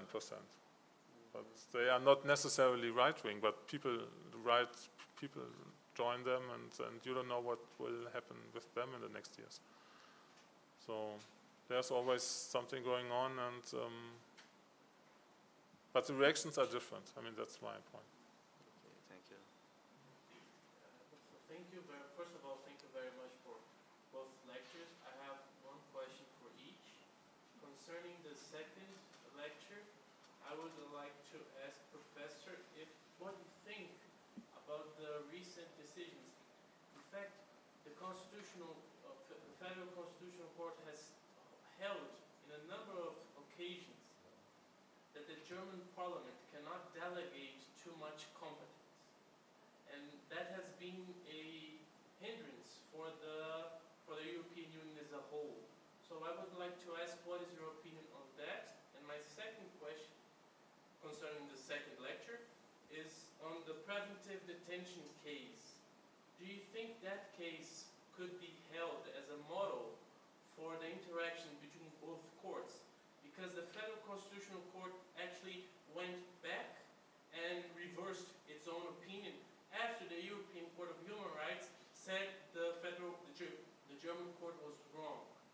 And concerning the first lecture, uh, my, well, I have a few criticisms, and I would like you, Professor, to uh, to defend yourself, basically.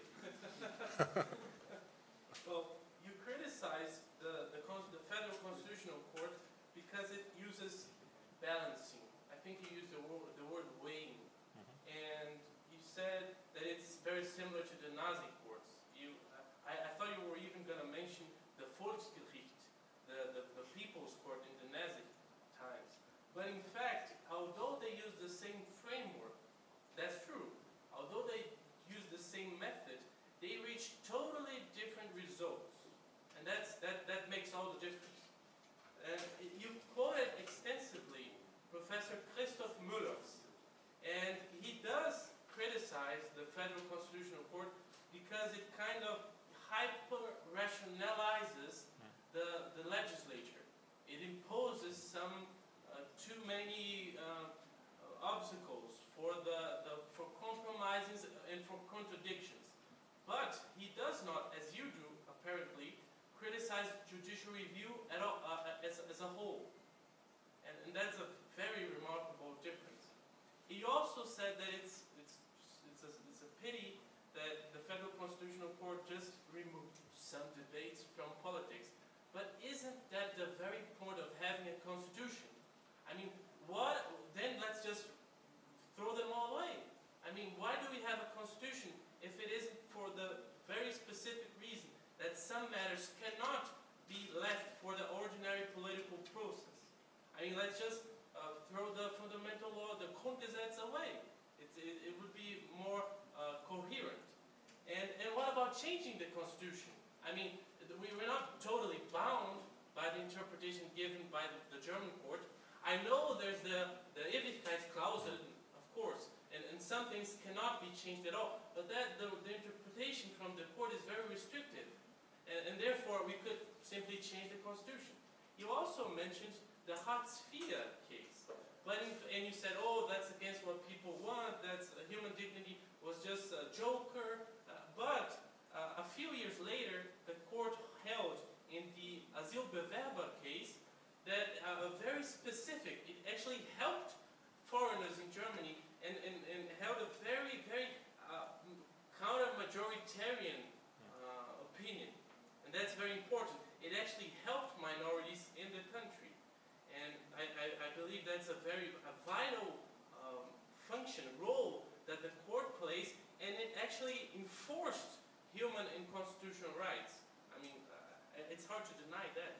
And uh, Muslims, for example, regarding freedom of religion, yes, we do have some problems. We have uh, types like Di Fabio in the court, of course, and they're conservative. But I mean, that's part of the process. It, it, it's, it's, and, and you also seem to, to have a presupposition. You, your premise is that everything is politics, everything that the court does. But I, I think that's very hard to, to actually hold because there are legal arguments involved, and they're totally different from, from what the parliament does. So basically, that's my point. Thank you very much for your patience. You can start. Yeah, thank you very much. Two very important questions. I did not talk quite a lot about the European Court of Justice uh, because this is tomorrow's topic, but um, I totally agree. Um, it's problematic. The German court has been very restrictive regarding delegation of competencies to the European Union um, due to its concept of constitutional identity and so on. And I think the limits of the German Constitutional Court are a bit too harsh. And the way the German Constitutional Court acted is, you know, not, not always as cooperative as I would as I would like to have it. And, and, and I find it very interesting that especially in that, you know, competency thing, the court now for the first time presented a prelim preliminary question to the European Court of Justice, the first time in the history of the Constitutional Court that the court did it. But if you read the question, you know, I, I disliked the undertone of the question because this was kind of, you know, giving the answer and, and, and, and, asking uh, Luxembourg to agree, yes, you are right. And that's a very difficult situation. This is something which I, I always criticized regarding uh, the European integration process. And the German Constitutional Court has, since Maastricht, applied a very restrictive reading and the reading which led to the problem that the court always say, here is the red line, the red line, the red line. And I think that's very problematic for a constitutional court to think in categories of red lines. And at the end of the day, we see how difficult things can get if one crosses the red line and if uh, you consider that crossing of the red line may be a reasonable thing. So I think this is a, a mousetrap the German Constitutional Court got uh, itself into without any uh, necessity to do that. So, so I, I, totally agree this is too restrictive and uh, I would appreciate a, a, more European friendly, if you want to phrase it that way, jurisprudence of the court in Karlsruhe in that regard. But at the end of the day, Karlsruhe so far accepted all the steps of European integration. This is also something that needs to be uh, needs to be seen. And what was helpful, you know, Karlsruhe did take all the critics of European integration seriously, and that also maybe helped to start coming to Professor Eberl's, topics that also started uh, kind of a, democratic process, kind of, you know, taking these arguments seriously and, and the discussions regarding the decisions of the Karlsruhe court, I think, uh, have uh, strengthened the, the, democratic process in Germany and uh, maybe also uh, made people more sensitive about the complexity of the whole problem as far as that is possible. The second question, the uh, uh, preventive detention case, yeah, I think it's a, it's uh, the perfect model, but to some extent an easy case because Karlsruhe was ready to follow uh, uh the uh, rules that were established by the court in Strasbourg. So that was not a, a case of conflicts here. Karlsruhe changed its jurisprudence.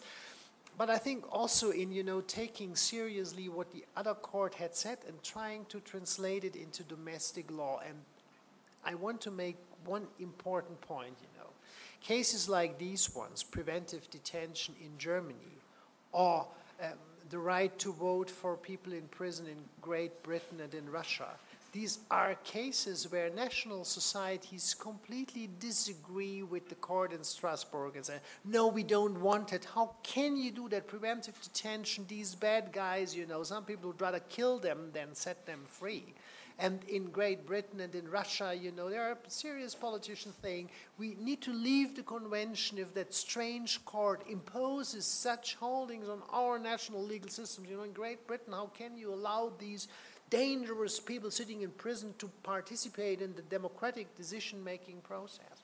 I think a court, you know, translating holdings of the other court into the wording of the domestic legal system also helps to make acceptable for the people and the society what the international instances do.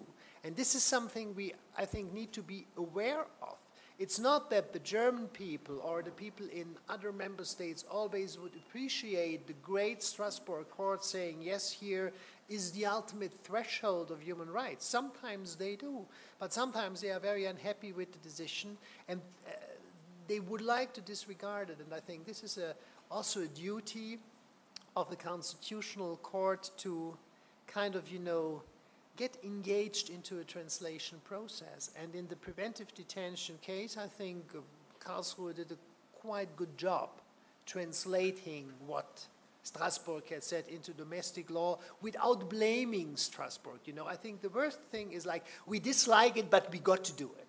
If a constitutional court does something like that, this is, I think, the worst way to engage into a dialogue.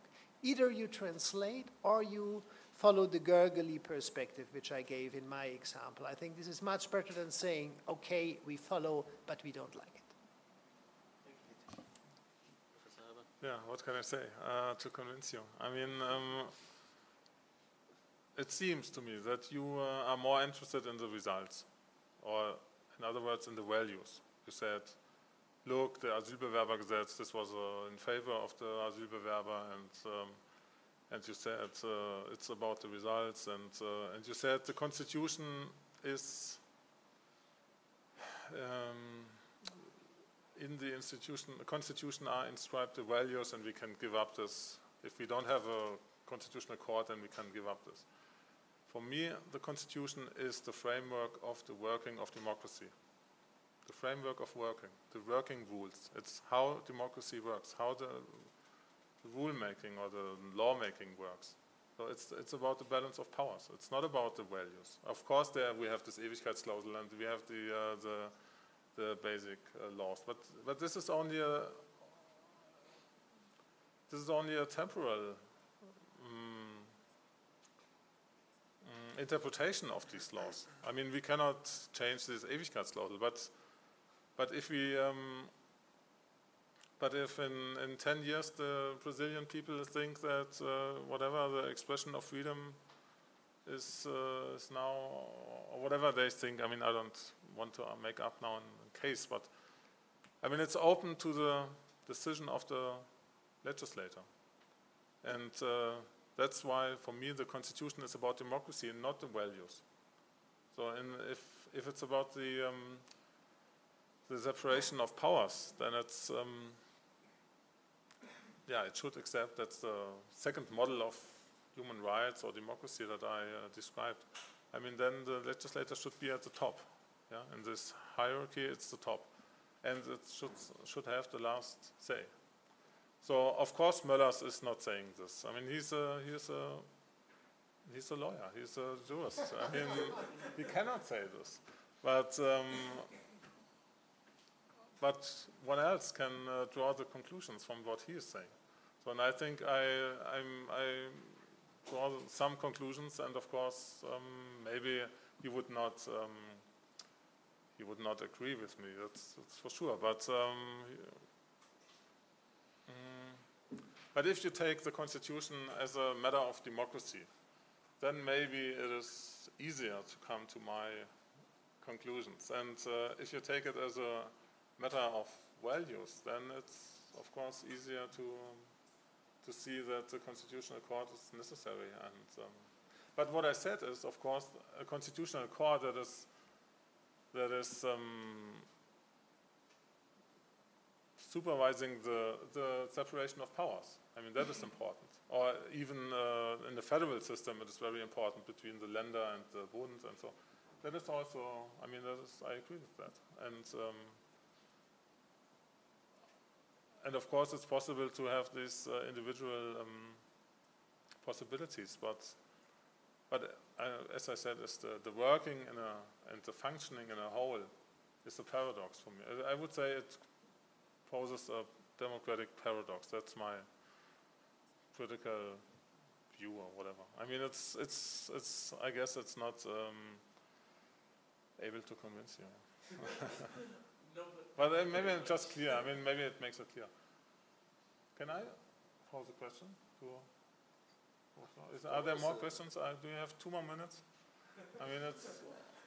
Um, I mean, if the case you described about the father, if it was what would just uh, need one year to decide it, the boy would then be eight, and the uh, German authorities would have said, okay, no, you can't. We we can't uh, give you access to the to your son. So, and you said, of course, the state cannot uh, be act against international law, but the courts can take the decision in its own interpretation. So, if the German authorities would have said, no, father, uh, we are sorry, we don't give you access to your son, although you have granted the right by the European Court of uh, Human Rights, um, would that be a violation of that international law, or is this then is it still in in, in the in the in the realm of the constitutional court? If he is, eight, not eighteen. Yeah. If he is an adult, they cannot say no, you don't get access. But he, if if he if the son is eight, then they can force this access. Yep, the, the, the real case was exactly about scenario that the son is still not yet a grown up, even though it took such a long time. Um, uh, it's a tricky question. Public international law is only binding to the Federal Republic of Germany. Germany as a state is bound by public international law in general, and the German Constitutional Court interprets the Human uh, Rights Charter as a general public international law treaty. So Germany, as a member of the treaty, as a member state, is bound by the Human Rights Charter. And if German authorities, courts, whatever, violate the charter, then uh, Germany has, under public international law, to pay damages to the violated person. That's the, the simple thing. But since the convention is not a supranational system, the law is not binding internally in Germany. It has to be translated into domestic law. And it has been uh, translated uh, into domestic law via, via a German uh, positive law, Gesetz. But this is uh, in the hierarchy underneath the constitutional guarantees, at least in the reading of our constitutional court. And therefore, the court said, yeah, well, following the procedures of national law, our courts and authorities can still say, hmm, no, our constitution forbids Germany to follow the interpretation of the International Court, of the Human Rights Court in that case. Therefore, it was tough luck for Germany that you got yourself into such an international protection scheme, but this is always the risk. This is the public international law answer.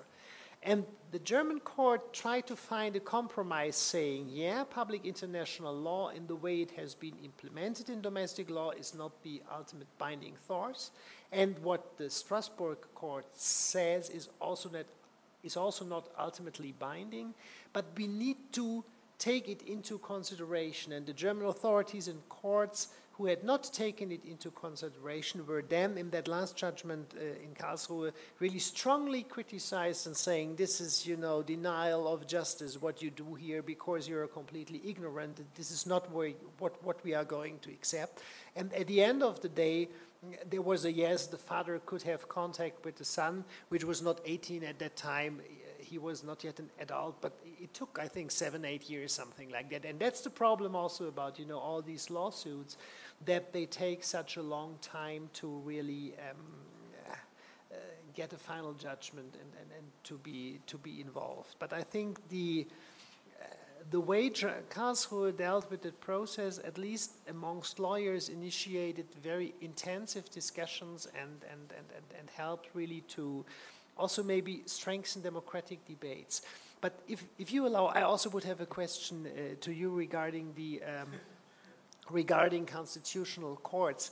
I think you, you gave a, a quite interesting and, and, and to a very important extent convincing this description that constitutional courts were invented in Europe after totalitarian regimes as an answer to that uh, totalitarian societies and, and, and, and seeing the need that you need to also control the legislative branch of government. However, if we look at the American uh, Supreme Court, that was not that was not, at least in that sense, a reaction to a totalitarian system that needed to be overcome. It was, you know, in, in the way of independence. And then the Americans created the Supreme Court, and the Supreme Court, in that famous Marbury versus Madison decision, invented judicial review in a completely different setting. So this is the beginning of, you know, that kind of overpowering the legislator by a constitutional court. What would, from your view as a political uh, as a political scientist be an explanation for that? Why did, at the very beginning of the 19th century, the American Constitutional Court invent that? And this is actually the tradition that you know, constitutional court systems worldwide follow if judicial review is granted, if the legislator can be overpowered. That's a completely different historical setting. Yeah, and it's a totally different um, democratic system because it's based on the, you know, on the, on the. I mean, it's based on the balance, the idea of balance of powers, not on the idea of separation of powers. So, and I think maybe because of this difference, which is now uh, the, always the tension between constitutions. I mean, you have this hierarchic system or you have this balance system. And uh, the American system was from the beginning opposed to popular sovereignty. Although there's, there is this word and they have, and they think they talk about popular sovereignty, they only talk about constitution giving. That's the only moment where popular sovereignty takes place. So if this is done, that's it. I mean, from this moment, from uh, 17, uh, what is it, uh, 88, um, the uh, the constitutional giving um, power is given to the authorities.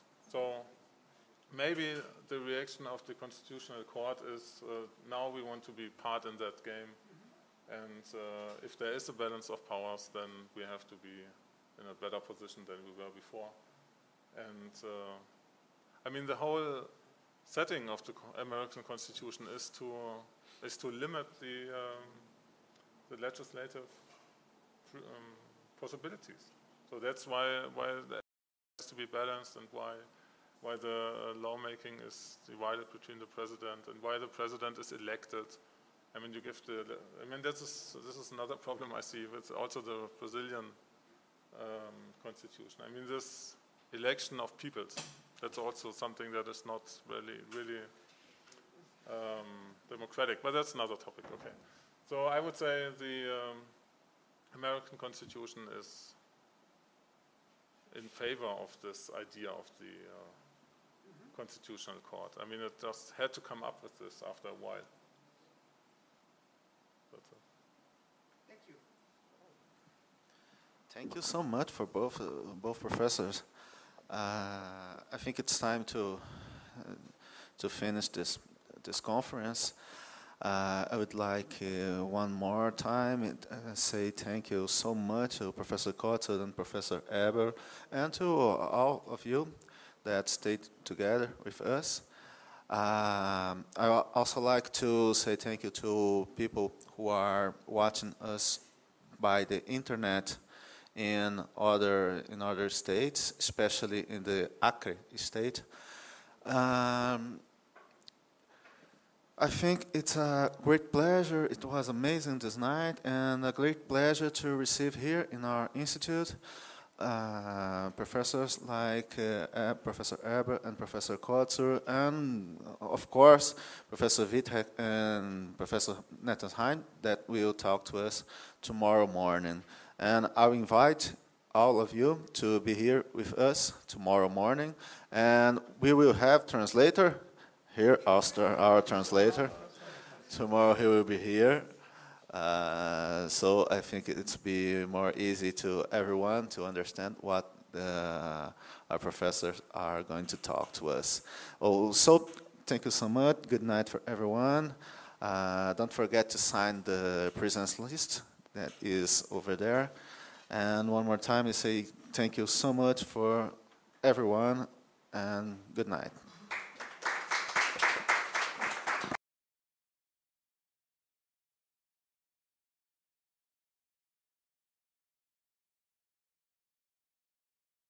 Bom, primeiramente, além de agradecer a presença de vocês, eu gostaria, em nome de todo o do Instituto Brasileiro de Direito Público, agradecer a presença de todos os palestrantes, agradecer a presença do ministro Gilmar Mendes, nosso professor e aqui na, aqui na instituição, no nosso curso de mestrado, professor Álvaro Serlini, aqui na plateia, a quem também agradeço a presença, é, professor Martin Nettesheim, é professor da Faculdade de Direito da Universidade de Tübingen, na Alemanha, e o professor Fabian Wittek é diretor do Instituto de Direito Público e Política da Universidade de Münster, também na Alemanha.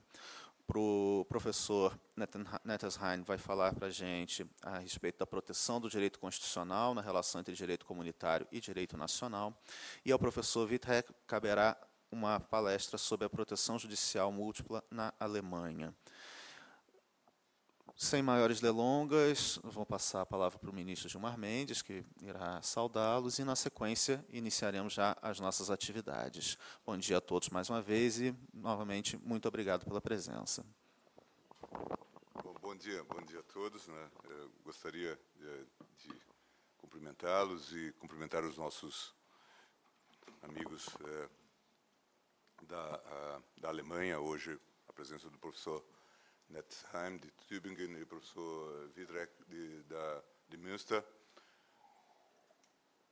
e dizer da nossa satisfação de estarmos podendo realizar no IDP esse projeto é, há muito é, acalentado, que é estabelecimento desta rede de cooperação é, no âmbito acadêmico entre universidades brasileiras e alemãs, com apoio da CAPES e do DAD. Esse projeto nós começamos já a acalentar há muitos anos, eu creio que até com a visita do professor Eriksen né, a, a, a, Brasília, e, e, e, hoje estamos é, vendo já os seus é, primeiros frutos. Isso abre a possibilidade não só é, de termos acadêmicos em contato no Brasil e, e, na Alemanha, mas também abre a possibilidade de que estudantes possam é, visitar, é, é,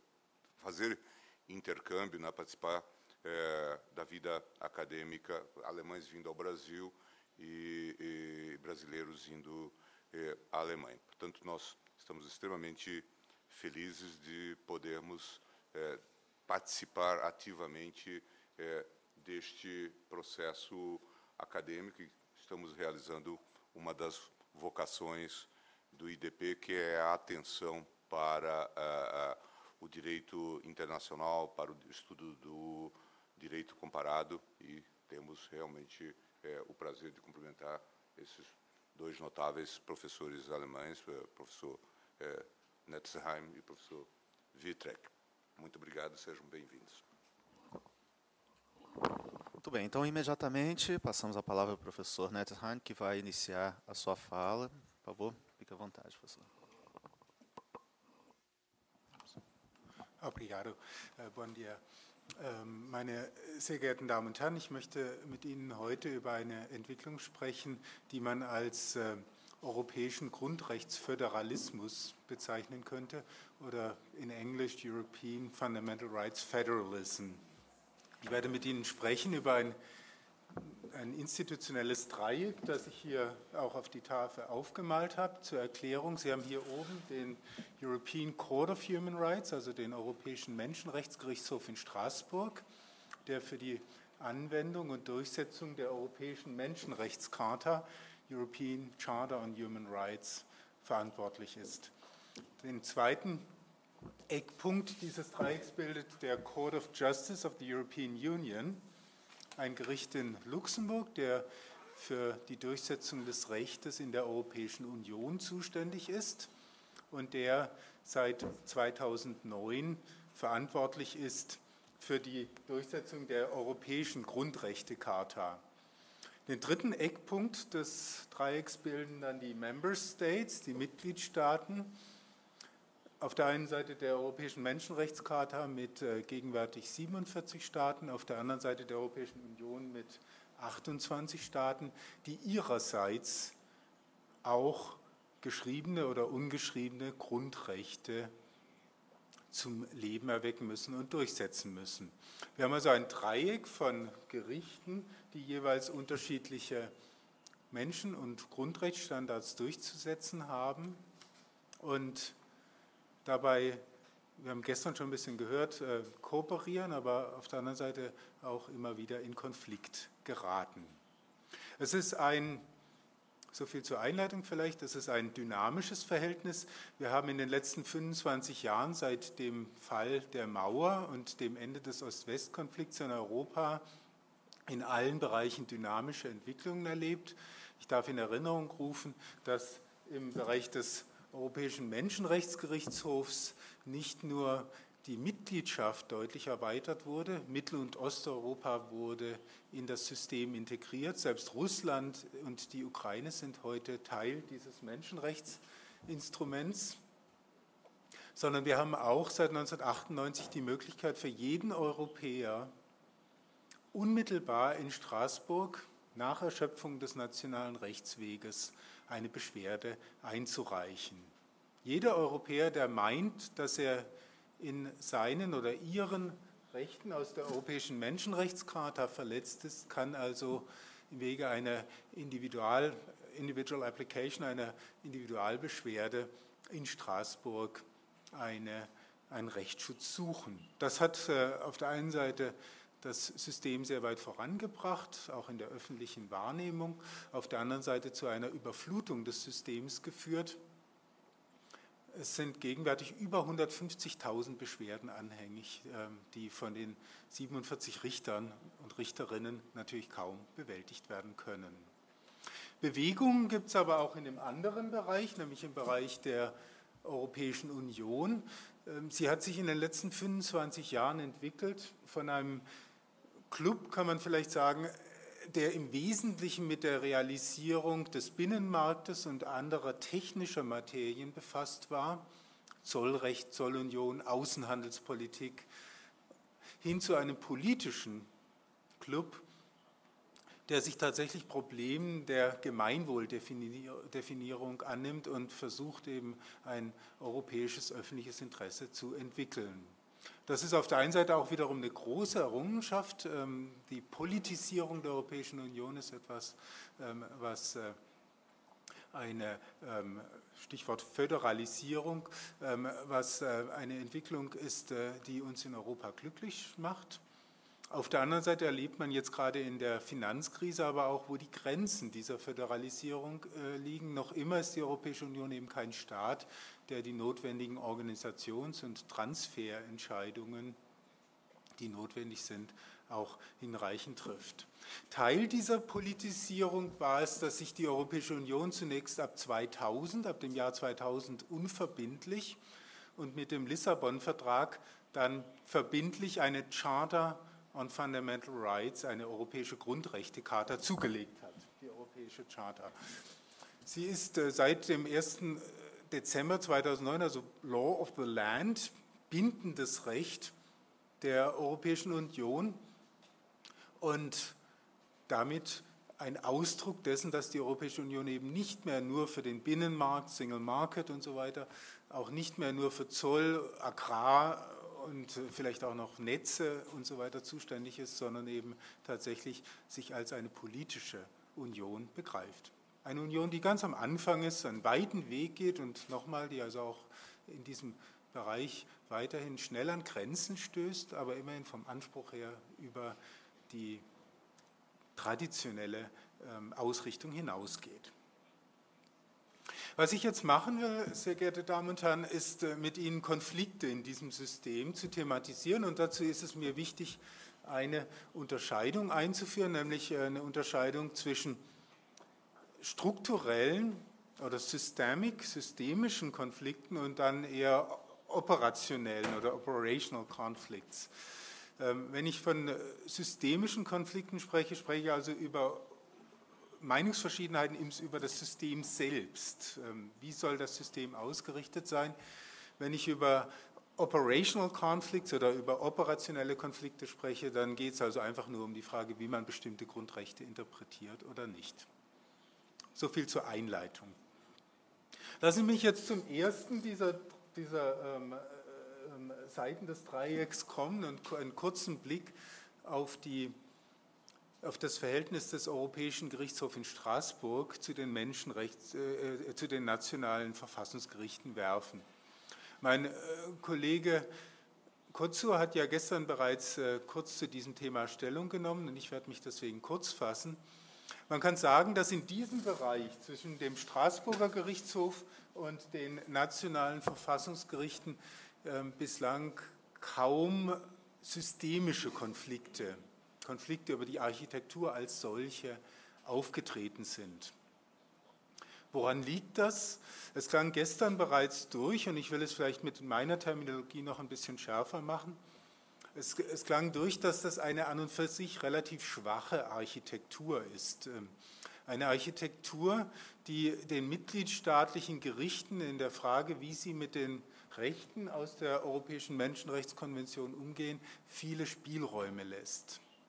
Herr Kotzu hat ja gestern bereits davon gesprochen, dass die Bindung der Europäischen Menschenrechtskonvention eine völkerrechtliche Bindung der Mitgliedstaaten in ihrer Kapazität als Subjekte des internationalen Rechtes ist, dass aber die Europäische Menschenrechtskonvention gleichzeitig nicht entscheidet, welchen Rang sie und welche Stellung sie im nationalen Recht haben soll. Es ist also den Mitgliedstaaten überlassen zu entscheiden, nach ihren nationalen Traditionen, und Sie kennen natürlich die Diskussion und Ansätze zwischen Dualismus und Monismus, zwischen Verfassungsrang und einfachem Gesetzesrang, äh, den Mitgliedstaaten überlassen zu entscheiden, wie sie mit dem Instrument umgehen wollen. Insofern beobachten wir aus einer Beobachtungsperspektive auch sehr unterschiedliche Ansätze in den Mitgliedstaaten. Deutschland schreibt der EMRK im Grundsatz nur, kann man sagen, nur den Rang eines einfachen Gesetzes zu. Und wir beobachten auf der anderen Seite eben damit auch relativ viel Flexibilität der Mitgliedstaaten im Umgang mit der EMRK, dem, der Europäischen Menschenrechtskonvention. Das verhindert das Aufkommen großer, in meiner Terminologie jetzt eben systemischer Konflikte, ähm, man kann das sozusagen kleinarbeiten und jeweils anschauen, äh, wie man mit einzelnen Fällen umgeht. Natürlich gibt es dann immer wieder mal Bereiche, gerade sagen wir Russland oder so, wo es also auch dann grundsätzliche Fragen äh, zur Vertragstreue gibt, ähm, Versuche gerade im Bereich der Durchsetzung der Rechte, sich dem dann zu entziehen und so weiter. Aber wenn Sie also auf die großen westeuropäischen Staaten schauen, muss man sagen, ist also die ähm, Akzeptanz dieses Systems als solches ähm, ungebrochen und äh, für einen Beobachter, eine Beobachterin auch ohne große Probleme. Hier in diesem Bereich, meine sehr geehrten Damen und Herren, gibt es eher dann operationelle Konflikte. Ähm, mir fehlt jetzt die Zeit, im Einzelnen auf Nuancen einzugehen, aber ein paar Stichworte. Die Frage zum Beispiel, wie man mit Privatheitsschutz umgeht, wie man mit dem Menschenrechtsschutz von persönlichen Lebens Entscheidungen umgeht. Homosexualität, ähm, Transsexualität, ähm, Right to Die, also ein Recht auf Selbstmord. Ähm, das sind Fragen, in denen der Straßburger Gerichtshof durchaus immer wieder mal nicht auf das Einverständnis der Mitgliedstaaten stößt, wo es also tatsächlich im, in, der, in, der, ähm, in, in, der Operationier, äh, in, der, in dem operationellen Geschäft ähm, dann auch Reibereien und Schwierigkeiten gibt. Ein zweiter Bereich, der jetzt Deutschland mehr betrifft, ist die Frage äh, des Verhältnisses von Persönlichkeitsschutz und äh, Pressefreiheit. Wie weit kann die Presse sich äh, bei ihrer Berichterstattung über die Privatheitsinteressen und Persönlichkeitsinteressen von berühmten oder weniger berühmten A-to-C-Personalities hinwegsetzen. Das ist also auch ein Thema, worum man streiten kann. Und auch zum Beispiel im Bereich der Frage, wie man effektiven Rechtsschutz, Artikel 6 der Europäischen Menschenrechtskonvention, ausgestaltet, gibt es immer wieder Meinungsverschiedenheiten.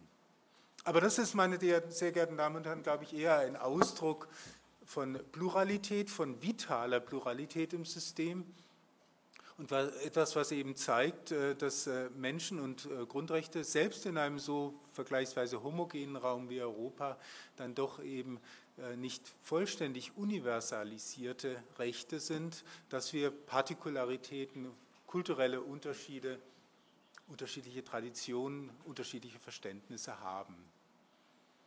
Die mitgliedstaatlichen Gerichte und der Straßburger Gerichtshof zeigen in diesem Bereich auf der anderen Seite eben dann ungeachtet gewisser Konflikte eine große Bereitschaft, aufeinander zuzugehen.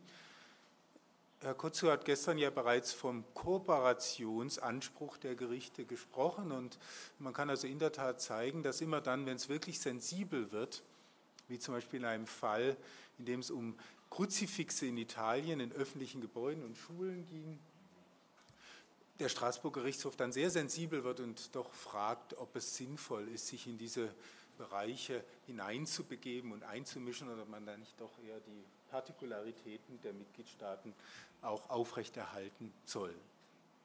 Ich bin gern bereit, in der Diskussion dieses, diesen Block noch ein bisschen weit auszuführen, aber die Botschaft, die ich Ihnen vermitteln will, ist, dass das eben eine These aufgrund der, der schwachen Architektur relativ gut funktionierender Bereich ist, der eher eben momentan unter seiner Kapazitätsproblematik leidet als jetzt an inhaltlichen Problemen. Mehr Konflikte, meine Damen und Herren, gibt es gegenwärtig in diesem Verhältnis hier zwischen also dem Luxemburger Gerichtshof und den nationalen Verfassungsgerichten.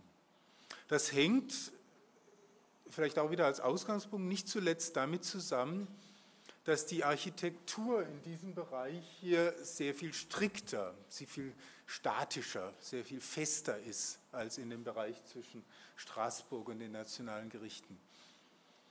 Sie sind vielleicht äh, damit vertraut, dass die Europäische Union eben nicht nur ein völkerrechtlicher Vertrag ist, der den Mitgliedstaaten die wesentlichen Entscheidungen über seine Implementierung überlässt, die Europäische Union begreift sich nach ihrem eigenen Verständnis als staatsnahe oder sogar staatsähnliche Organisation mit einer verfassungsrechtlichen Grundlage, die Verträge als Verfassung.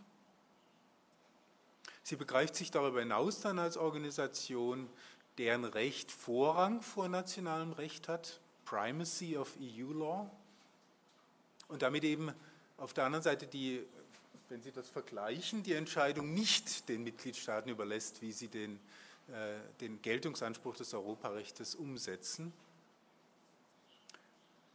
Und sie begreift sich, drittes Element dieser Architektur, sie begreift sich eben auch als eine Architektur, in der der European Court of Justice, der Luxemburger Gerichtshof, das letzte Wort über diese Fragen hat.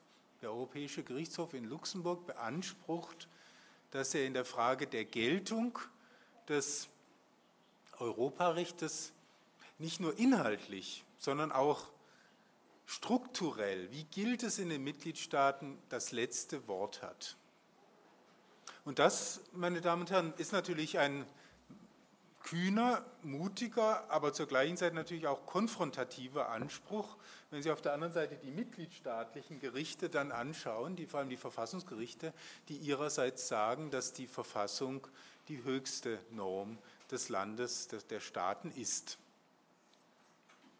Dieses grundsätzliche Verhältnis und die darin angelegten Konflikte sind bislang nie wirklich ausgetragen worden und äh, es ist ja gestern auch bereits angeklungen, dass es vielleicht auch gar nicht sinnvoll ist, sie in grundsätzlicher Weise auch mal tatsächlich zum Thema zu machen. Aber in den letzten Jahren ist gerade im Bereich der europäischen Charter und Fundamental Rights jetzt also in die Rechtsprechung tatsächlich auch unterhalb dieser grundsätzlichen Ebene Konfliktpotenzial hineingetragen worden. Woran liegt das? Ich habe es hier hingeschrieben, Artikel 51 der Grundrechtecharta definiert den Anwendungsbereich dieser neuen Grundrechts, ähm, dieses neuen Grundrechtsinstruments. Das ist unkontrovers und wirft auch keine Probleme auf, solange und soweit Artikel 51 sagt, dass die Grundrechtecharta für die Organe der Europäischen Union bindend ist. Die Grundrechtecharta als ein Instrument, mit der sich Brüssel, Luxemburg ähm, und Straßburg, das sind die Hauptsitze der Organisation, sich selbst bindet. Kein mitgliedstaatliches Gericht hat einen Einwand dagegen, dass die Europäische Union sich selbst grundrechtlich bindet. Und in der Tat war es sogar so, dass das Bundesverfassungsgericht, das deutsche Bundesverfassungsgericht, ähm, vor jetzt genau 40 Jahren anfing, genau das zu fordern und zu sagen, die Europäische Union soll sich doch bitte selbst grundrechtlich binden. Das ist also eine große Erfolgsgeschichte, dass wir jetzt eben als europäische Bürger auf der Grundlage der Charta und Fundamental Rights das Recht haben, in Luxemburg Grundrechtskonformität des Handelns der Europäischen Union einzufordern. Aber die Charta geht weiter und da Artikel 51 geht weiter und da sind also jetzt eben dann die Probleme angelegt. Die Charta sagt nämlich, sie gilt auch für die Mitgliedstaaten. Also nicht nur sozusagen nach oben, sondern auch nach unten in die mitgliedstaatlichen Sphären hinein. Und zwar nach dem Wortlaut, soweit diese das Unionsrecht durchführen. Der Begriff, der sich also dort findet im deutschen Recht, ist die Durchführung. Im Englischen, Französischen und auch ähm, Spanischen, ich habe jetzt das Portugiesische nicht nachgeprüft, aber ich würde erwarten, dass es gleich ist, ist von Implementation die Rede. Also keine ausschließlich auf die Selbstbindung der Europäischen Union beschränkte Geltung, sondern eben auch eine für die Mitgliedstaaten geltende Bindung dort, wo sie im, im Deutschen das Europarecht durchführen oder im Englischen, Französischen und so weiter, in den romanischen Sprachen, äh, where, where they implement EU law. Was bedeutet jetzt Implementation?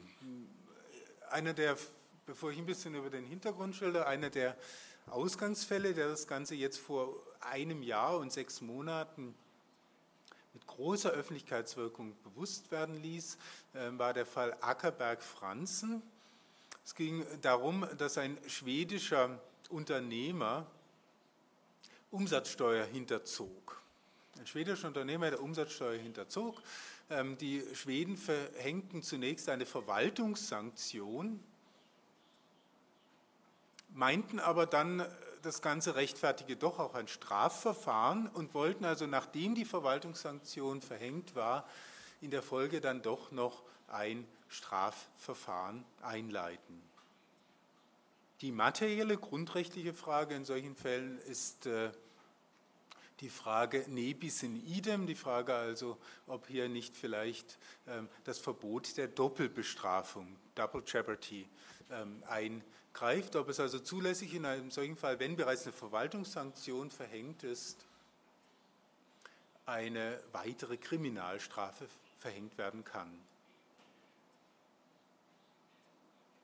Das schwedische Gericht wollte daraufhin am Wege der Vorlage in Luxemburg wissen, ob die entsprechende Bestimmung der Europäischen Grundrechtecharta, sie verbietet die Doppelbestrafung, in so einem Fall Anwendung findet.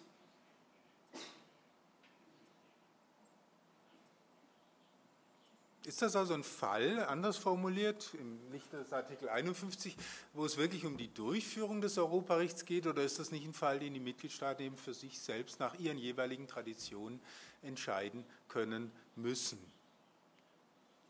Während die Europäische Kommission in diesem Fall und auch die stellungnehmenden Mitgliedstaaten alle sagten, ja, das hat mit Europarecht nichts zu tun, das muss also ein Bereich sein, in dem die Mitgliedstaaten weiter autonom operieren können, hat der Europäische Gerichtshof in einer Entscheidung der großen Kammer, das ist also der, es gibt auch Plenarentscheidungen, aber im Grundsatz ist also die große Kammer dann ähm, das ähm, Haupt, das, das, das äh, für die wichtigen Fälle entscheidende Gremium, gesagt, ähm, dass ein solcher Fall durchaus ein Fall der Durchführung sein kann oder ist.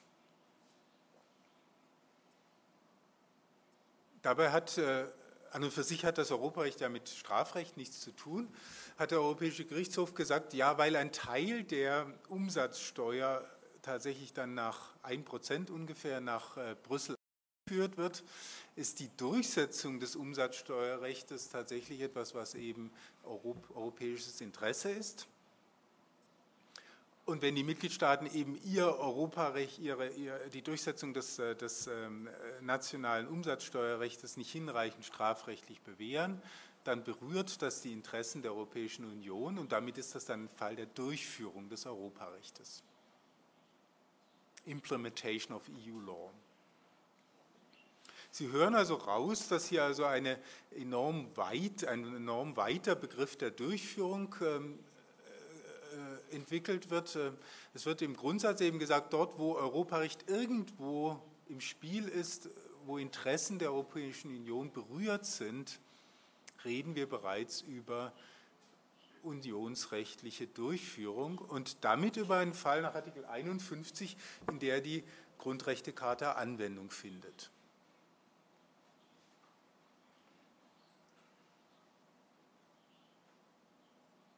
Um das ein bisschen jetzt aus der Beobachtungsperspektive schärfer zu machen, will ich eben nochmal zurückgehen und daran erinnern, dass eben in solchen Fällen dann Vorrang des Europarechts gilt, Primacy of EU Law, und dass eben dort, wo die Grundrechtecharta zur Anwendung kommt, die nationalen Verfassungsrechte verdrängt werden. Das bedeutet also, je weiter Sie die Grundrechtecharta anwenden, desto weniger Raum bleibt da unten für die mitgliedstaatlichen Gerichte und die nationalen Verfassungsordnungen. Das ist Ausdruck dieses äh, eben sehr, sehr dieser starken Architektur der weitgehenden Verdrängung der Mitgliedstaaten dort, wo Europarecht zur Anwendung kommt. Und es kann also deswegen nicht überraschen, dass der, das deutsche Bundesverfassungsgericht genau acht Wochen nachdem der Europäische Gerichtshof in Luxemburg Ackerberg-Franzen entschieden hat, in einer Entscheidung äh, zu einem anderen Bereich gesagt hat, äh, wenn der Europäische Gerichtshof hier zu weit geht und die Grundrechtecharta zu weit ausdehnt und damit nach unten die mitgliedstaatlichen Gerichte zu weit verdrängt, dann wird das Widerstand geben. Sie haben es ein bisschen eleganter ausgedrückt, aber Sie haben eben deutlich gemacht, Sie akzeptieren nicht, wenn die Grundrechtecharta hier plötzlich über eine extensive aktivistische Interpretation die nationalen Grundrechte verdrängt. Zwei weitere Fälle und, und das Paper, es ist auf Englisch auch, äh, wird dann also auch hier veröffentlicht werden. Ähm, Professor äh, Markus hat mir zugesagt, dass es hier veröffentlicht wird. Zwei weitere Fälle aus dem Frühjahr, April und jetzt Juli 2014 zeigen, dass jedenfalls einige Teile des Europäischen Gerichtshofes dabei sind, die Position zu überdenken. In Siragusa, vom April 2014 ging es darum, ob die Europäische Grundrechtecharta in einem italienischen Fall an, Anwendung findet, ob es um Implementation, um Durchführung des Europarechts geht, in einem Fall, in dem jemand bauen wollte in Italien, in Süd Süditalien und keine Baugenehmigung bekam, weil es ein Umweltschutzgebiet ist.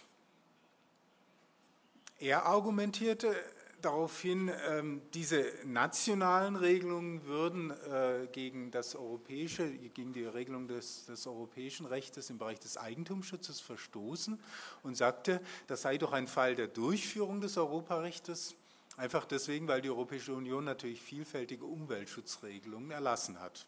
Alles, was Umweltrecht ist, soll eben jetzt auch im Durchführungsbereich sein.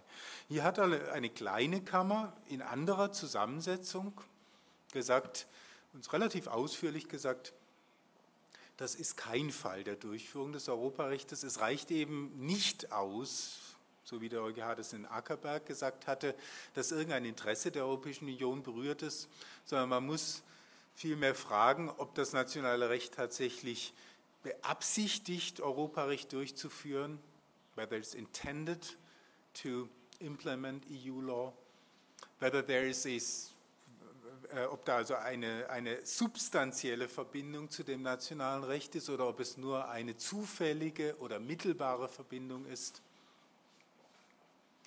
und ob eine hinreichend klare Verpflichtung der Mitgliedstaaten zu erkennen ist.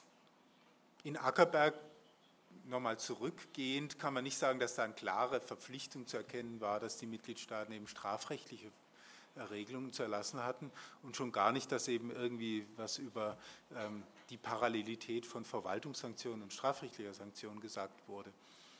Vor dem Hintergrund hat der Gerichtshof aber in Siracusa dann eben jetzt vor ein paar Monaten gesagt, das reicht eben nicht aus, dass die EU allgemeine Regelungen über Umweltschutz erlassen hat. Es reicht dann nicht mal aus, dass die Europäische Union natürlich auch im Bereich von Fauna, Flora und Habitat Naturschutzregelungen erlassen hat. In einem solchen Fall äh, ist eine hinreichende Verbindung nicht zu erkennen. Und in Hernandez, einem spanischen Fall vom Juli 2014, lässt sich also auch wiederum erkennen, ähm, dass der Europäische Gerichtshof auf der Suche nach ähm, einer Definition und ähm, Festlegung des Anwendungsbereichs der Grundrechtecharta ist.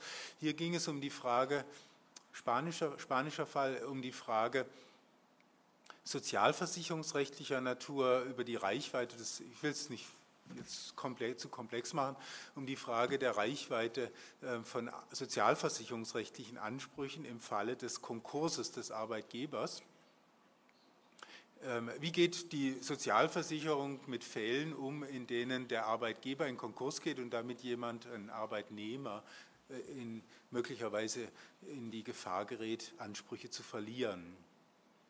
Auch hier sagte der Gerichtshof dann wieder, während es grundsätzlich schon Regelungen über äh, sozialversicherungsrechtliche Ansprüche der Arbeitnehmer in der EU inzwischen gibt, Sozialpolitik ist ein Thema der EU, ist hier kein hinreichender Bezug zur Grundrechtecharta und zum, zum, Binden des, äh, zum bindenden EU-Recht zu erkennen. Konsequenz also, während wir in Ackerberg-Franzen eine enorme Ausweitung des Anwendungsbereichs der Europäischen Grundrechtecharta haben und damit eben auch die Gefahr, dass die Mitgliedstaaten wesentliche Funktionen als Grundrechtshüter verlieren, beobachten wir gegenwärtig jetzt wiederum einen Rückzug der europäischen Gerichtsbarkeit, vielleicht auch nur eine Art Feintuning, eine Art Verfeinerung des Ansatzes und äh, den Versuch eben hier zu verhindern, dass im, in diesem europäischen Grundrechteföderalismus plötzlich die EU-Charta an die Stelle der nationalen Verfassungen tritt. Die politische Dimension, und damit will ich auch diese Seite schon wieder beenden, die politische Dimension dieser Problematik wird Ihnen deutlich, wenn Sie an die US-amerikanische Erfahrung denken. Sie wissen vielleicht, dass die amerikanischen Grundrechte, die US-amerikanischen Grundrechte im Bill of Rights zunächst nur die Bundesdimension, die, die Tätigkeit des amerikanischen Bundes banden. Was in den amerikanischen Bundesstaaten passierte, war nicht Thema des Bill of Rights. Wann änderte sich das? In Amerika bedurfte es eines wenn ich das ironisch sagen darf, also in, in den USA bedurfte es eines Bürgerkriegs, um diesen Schritt zu vollziehen, nämlich über das 14th Amendment, äh, die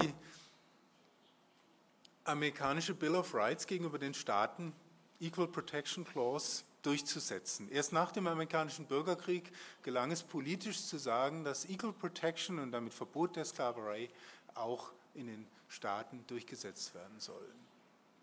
Ich hoffe jetzt nicht, dass wir in Europa da in einen Bürgerkrieg geraten über diese Frage, aber Sie sehen, ähm, dass die Frage, äh, wie weit dort von oben die Grundrechtecharta Nationalrecht verdrängen, denn es geht eben nicht nur um den Anwendungsbereich, sondern um eine Verdrängung, Äh, das ist also ein Thema, was uns in Europa momentan stark beschäftigt und äh, das die ganze Architektur langfristig wesentlich determinieren wird.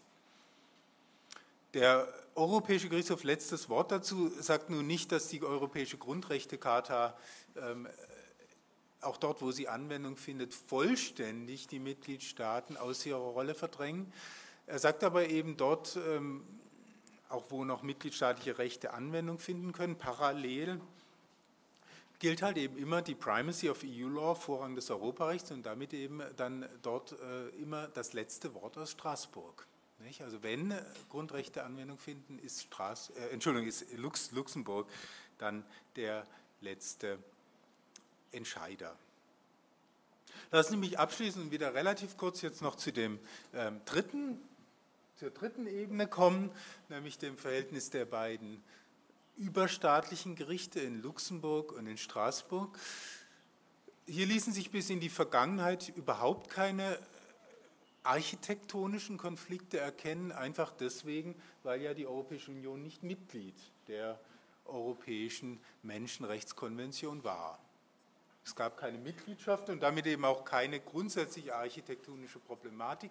Die Frage tauchte nur indirekt insofern auf, als der Straßburger Gerichtshof immer wieder mit Fällen zu tun hatte, in denen es um die Frage ging, inwieweit die Mitgliedstaaten der EU dafür haften, menschenrechtlich haften, dass sie EU-Maßnahmen umsetzen. Kann man die EU mittelbar zur Verantwortung ziehen, indem man die Mitgliedstaaten grundrechtlich in Straßburg verantwortlich macht. Hier sagte er aber in Bosporus und auch in anderen Entscheidungen der Straßburger Gerichtshof dann immer Nein, äh, solange in Luxemburg hinreichender Grundrechtsschutz gewährt wird, ist das kein Thema in Straßburg. Diese Architektur wird sich jetzt ändern, wenn ein Beitrittsabkommen der Europäischen Union zur Europäischen Menschenrechtskonvention Konvention in Kraft treten wird.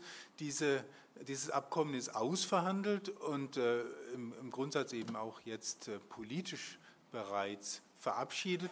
Ähm, das in Kraft treten wird also sicher im Jahr 2015 kommen. Und äh, man hat dann also eine neue Architektur, die sicherlich die eine oder andere Frage aufwirft, die aber im Grundsatz, glaube ich, eine gute Architektur ist. Was hat man nämlich vereinbart? Natürlich ist es so, dass die Europäische Union damit dann unmittelbar in Straßburg verantwortlich ist. Sie muss sich verantworten. Äh, verantworten. Sie hat aber auf der anderen Seite ähm, damit auch das Recht, einen Richter oder eine Richterin nach Straßburg zu entsenden. Sie wird also auch präsent sein. Das war ein Thema in den Verhandlungen, deswegen, weil Drittstaaten sagten, das sei unfair, dass die Mitgliedstaaten, die 28 Mitgliedstaaten und die EU jemanden nach Straßburg schicken können. Man hat dann ausgehandelt, das ist das zweite wichtige Element dieser Architektur, einen sogenannten ähm, Co-Respondent Mechanism, Mechanism ähm, der es ermöglicht, dass die EU in, in Verfahren, in denen die Mitgliedstaaten zur Verantwortung gezogen werden können, als Mitverteidiger in Straßburg auftritt, wenn es um ihre eigenen Interessen und ihr eigenes geht. Nicht immer ist eben klar in diesem Verbund hier, ähm, geht es jetzt um EU-Recht, EU-Maßnahmen oder geht es um nationale Maßnahmen? Über dieses Co-Respondent-System wird es möglich sein, dass man hier also dann sich gemeinsam verteidigen kann. Auch das fanden Drittstaaten unfair, sagten also sozusagen, das verstärkt die Europäische Union in Straßburg und führt dazu, dass hier eine Ungleichgewichtigkeit erfolgt. Und schließlich hat man als drittes wichtiges Element dieser neuen Architektur eingeführt die Möglichkeit, dass der Straßburger Gerichtshof sein Verfahren unterbricht und dem Luxemburger Gerichtshof die Möglichkeit gibt, zur Rechtskonformität, Grundrechtskonformität von EU-Maßnahmen Stellung zu nehmen, wenn Fälle direkt von den mitgliedstaatlichen Gerichten ausgehend nach Erschöpfung des Rechtswuchs in Straßburg ankommen. Die Europäische Union hat immer deutlich gemacht, und die beiden Präsidenten der Gerichtshofe haben das auch nochmal betont, äh, dass dem Luxemburger Gerichtshof die Möglichkeit gegeben werden muss, seinerseits die Rechtskonformität zu überprüfen. damit hat man eine neue Architektur und eine, wie ich habe es ja gerade gesagt, die ich glaube eigentlich die in jeweiligen Interessen ganz gut abbildet. Ähm, ich sehe also nicht, jedenfalls momentan, nicht große architektonische Konflikte kommen, wohl aber natürlich die Möglichkeit, dass man auf der operationellen Ebene dann weiter Unterschiede haben wird. Ähm, vielleicht werden die sich verringern, aber wir hatten schon in der Vergangenheit zum Beispiel Fälle, Artikel 8, in denen der Straßburger Gerichtshof äh, Menschenrechtsschutz für Wohnungen verneinte, während der Luxemburger Gericht, äh, für, für, Geschäftsräume verneinte, während der, ähm, Straßburger, der Luxemburger Gerichtshof das bejahte und so weiter. Also es gibt immer wieder Unterschiede. Aber das ist eben was, was, glaube ich, etwas ist, womit man leben kann. Lassen Sie mich zum Schluss kommen, meine Damen und Herren. Sie, Sie sehen, dass so ein System ein dynamisches System ist und auch ein solches sein soll in dem es auf einer ersten Ebene in der Tat um Rechtsfragen geht. Ähm, wie interpretiert man die Grundrechte? Wie soll man sie jetzt zur Anwendung bringen? Aber dahinter geht es natürlich eben auch um Machtfragen. Und wir sind in Europa jetzt eben an einem Punkt angekommen, in dem in diesem Menschenrechtsbereich auch tatsächlich Machtfragen auftauchen und die grundsätzliche Architektur dieses Systems zwischen Straßburg, Luxemburg und den nationalen Verfassungsgerichten zu thematisieren ist. Ich glaube eben nicht, dass es in einem solchen Fall darum gehen kann, dass man hier eine eindeutige Entscheidung treffen kann und sagen kann, äh, das eine Gericht muss hier ähm, ein Monopol oder vielleicht auch nur immer das letzte Wort haben. Es muss darum gehen, dass man die jeweiligen Jurisdiktions ähm, Jurisdiktionen und Kompetenzen angemessen ausbalanciert. Und wir sind eben gerade dabei, jetzt äh, in, Fällen wie Ackerberg, Siragusa, Hernandez und so weiter, eine neue Balance dieses Verhältnisses von verschiedenen Grundrechtsinstrumenten in Europa zu finden. Das ist also eine spannende Entwicklung und ich hoffe, dass wir in der Diskussion das eine oder andere nochmal aufgreifen können. Obrigado.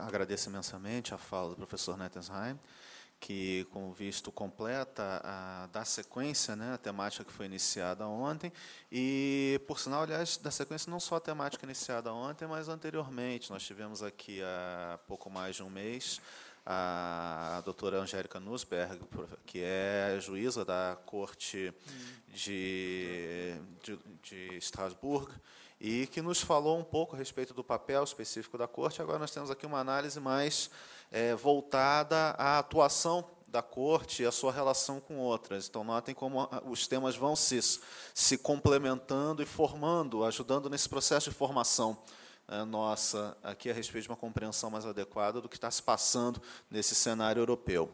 Bom, passo então imediatamente a palavra ao professor Fabian Witter, que irá também nos brindar com sua palestra.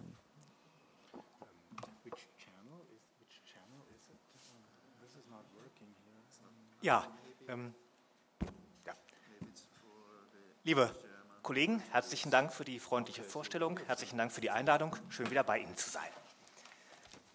Liebe Kommilitoninnen, liebe Kommilitonen, ähm, vor Ihnen liegen jetzt, wie wir im Deutschen sagen, die Mühen der Ebene.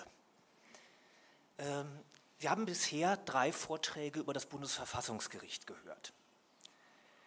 Das ist gut so und richtig so und charakteristisch so, denn die deutsche Staatsrechtslehre ist auf das Bundesverfassungsgericht so stolz, dass uns förmlich die Knöpfe platzen.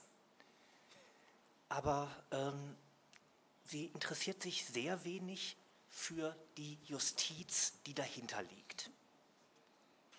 Also für die gesamte dritte Gewalt. Auf ihr Land bezogen ist das so, als ob man sagt, Brasilien, das ist Rio de Janeiro und Sao Paulo. Ähm, ich will sozusagen auch an den Amazonas gucken. Also, ich will Ihnen einen Gesamtüberblick geben, wie, wie steht es derzeit um die dritte Gewalt in Deutschland. Ich will das nach einer kurzen Einleitung mit in drei Schritten tun. Ich werde erstens nach dem Realbefund fragen, also wie sieht es derzeit aus? Frage zweitens nach dem Rechtsrahmen, also wie sollte es eigentlich aussehen? Und naheliegenderweise in einem dritten Schritt frage ich, gibt es Reformbedarf und was ist von den Reformprojekten, die wir haben, zu halten? Ja, beginnen will ich mit einem Zitat des berühmten Soziologen Niklas Luhmann. Der hat einmal gesagt, wir müssen davon ausgehen, dass die Justiz eine Versorgungseinrichtung für weniger kräftige Kinder der Oberschicht ist, so wie einst die Klöster. Ähm, wenn wir sich uns fragen, stimmt das heute für Deutschland noch, stehen wir vor einem ersten Problem. Wir haben heute in Deutschland praktisch keine aktuellen, unabhängigen Daten von Rechtssoziologen über die Justiz.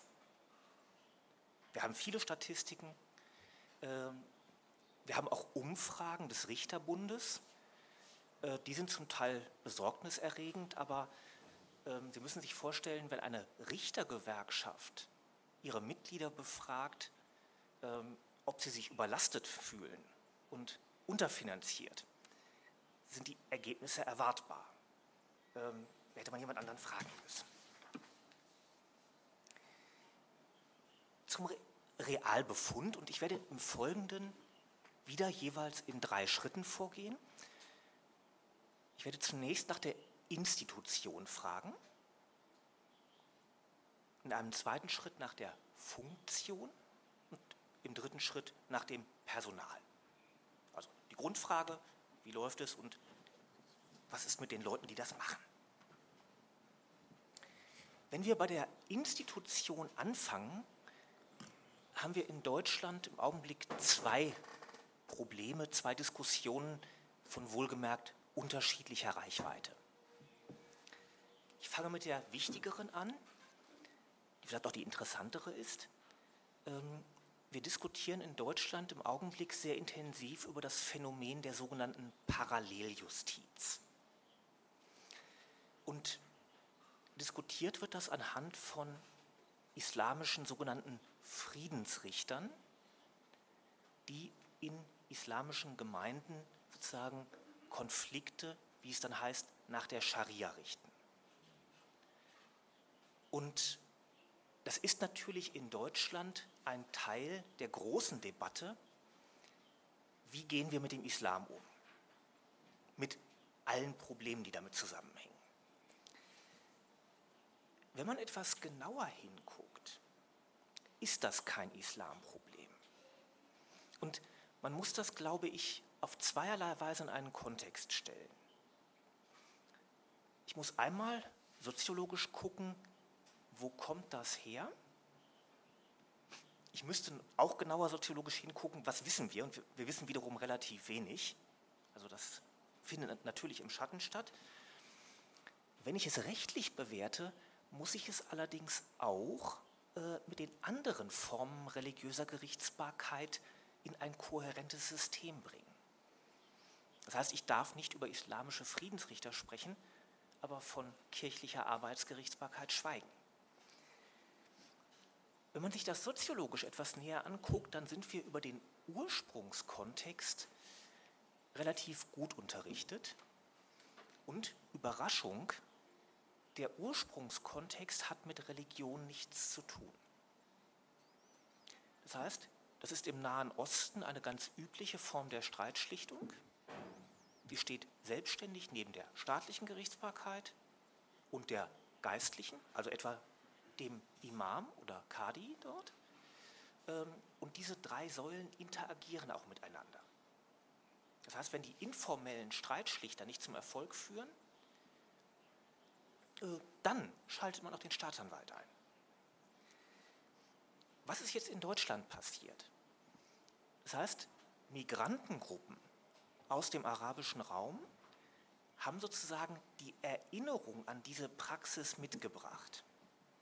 Das heißt, wir haben jetzt, es wird eine soziale Praxis in der Diaspora rekonstruiert und, das ist jetzt ein bisschen böse, ähm, das hat möglicherweise mit dem Original so viel zu tun wie ein Oktoberfest, äh, das man möglicherweise in Rio Grande do Sul noch äh, feiert. Ähm, also ähm, es wird aus der Erinnerung rekonstruiert. Sie haben unterschiedliche Migrantengruppen und deswegen wird das in Deutschland dann erst im zweiten Schritt auf einmal religiös überformt. Das heißt, die erinnern sich an unterschiedliche Gepflogenheiten und dann kommt der Imam auf den Plan. Das heißt, wahrscheinlich haben wir es derzeit in Deutschland mit drei Formen von Paralleljustiz zu tun, nämlich einmal wirklich sozusagen klassische Friedensrichter aus dem arabischen Raum, das hat mit Religion nichts zu tun. Dann Imame, die diese Rolle übernehmen, das ist religiös. Und zum, zum Teil ist das schlicht organisierte Kriminalität. Das sind Familienclans aus dem Libanon in Berlin. Ähm, das ist Closed Shop. Die zweite Diskussion, die die Institution anbelangt, geht in eine ganz andere Richtung.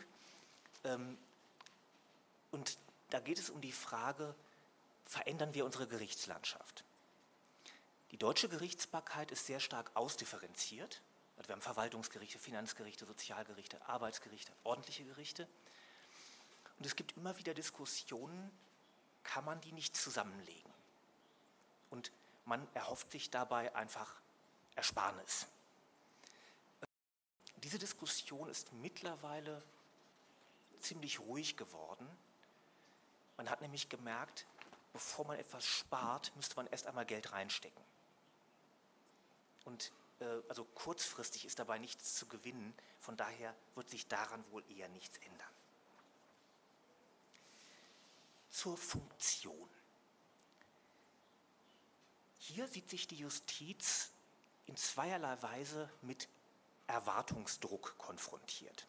Der kommt teils von innen, teils von außen. Fragen wir von innen. Ähm, hier muss man zunächst schauen, ähm, es wird viel darüber diskutiert, wie ist die deutsche Justiz ausgestattet. Richter berichten hier gerne von einem Schäbigkeitsprinzip. Ähm, wenn man mit Richtern spricht, ist das Bild ausgesprochen uneinheitlich. Eine ehemalige Mitarbeiterin von mir arbeitet in einem hochmodernen Gebäude. Das ist technisch bestens ausgestattet, aber sie kauft sich ihre Gesetzestexte selbst, äh, das Büromaterial und die Taschenlampe. Jetzt werden Sie fragen, warum die Taschenlampe? Ähm, ganz einfach, äh, um sechs wird im Gericht der Strom abgestellt. Und in der dunklen Jahreszeit kann das den Heimweg spannend machen. So. Eng damit verknüpft ist die Frage der Personalausstattung der Gerichte. Und ähm, hier ist es so, dass alle Justizverwaltungen, ich muss hinzufügen, ähm, die meisten deutschen Richter sind Richter der Länder. Ähm, und generell geht die Justizverwaltung davon aus, dass sie sagt, wie viele Leute bräuchten wir eigentlich, um die Arbeit zu erledigen. Dann sagt sie aber, naja, jeder muss mindestens 110 Prozent erledigen. Das heißt, es wird eine Überlastung einkalkuliert. Und wie setzt man das im Alltag um? Und jetzt ähm, teste ich die Grenzen des Übersetzers. Ähm, denn wenn man deutsche Richter fragt, sagen sie, bei uns gibt es Erledigungsdruck. Wenn man deutsche Gerichtspräsidenten fragt, sagen sie, es gibt allenfalls eine Erledigungserwartung. Ähm, das ist ein feiner Unterschied. Auch hier, äh, wenn man mit Richtern äh, spricht, ist der Tonfall an den Gerichten offensichtlich ganz unterschiedlich. Es gibt Richter, die von jung darauf getrimmt werden, schaff irgendwie die Fälle weg. Und andere, denen man erstmal sagt, arbeiten Sie in Ruhe, ich will, dass vernünftige Qualität gebracht wird. Welcher Erwartungsdruck kommt von außen? Und damit ist das, das Thema Justiz und Presse angesprochen. Ähm, ich will es so formulieren, die deutsche Justiz glaubt, dass sie ein Problem mit der Presse hat. will es an einem Fall schildern. In Bayern ist vor einigen Jahren die Familie eines Bauern verurteilt worden wegen Mordes. Im Urteil hat das Gericht ausgeführt, die Familie habe den Bauern gemeinsam erschlagen und an die Schweine verfüttert. Gruseliger Fall. Jahre später ist der Wagen des Bauern mit dem Bauern in einem Fluss gefunden worden. Ähm, der Fall kam wieder zu Gericht, irgendwas konnte ja nicht stimmen.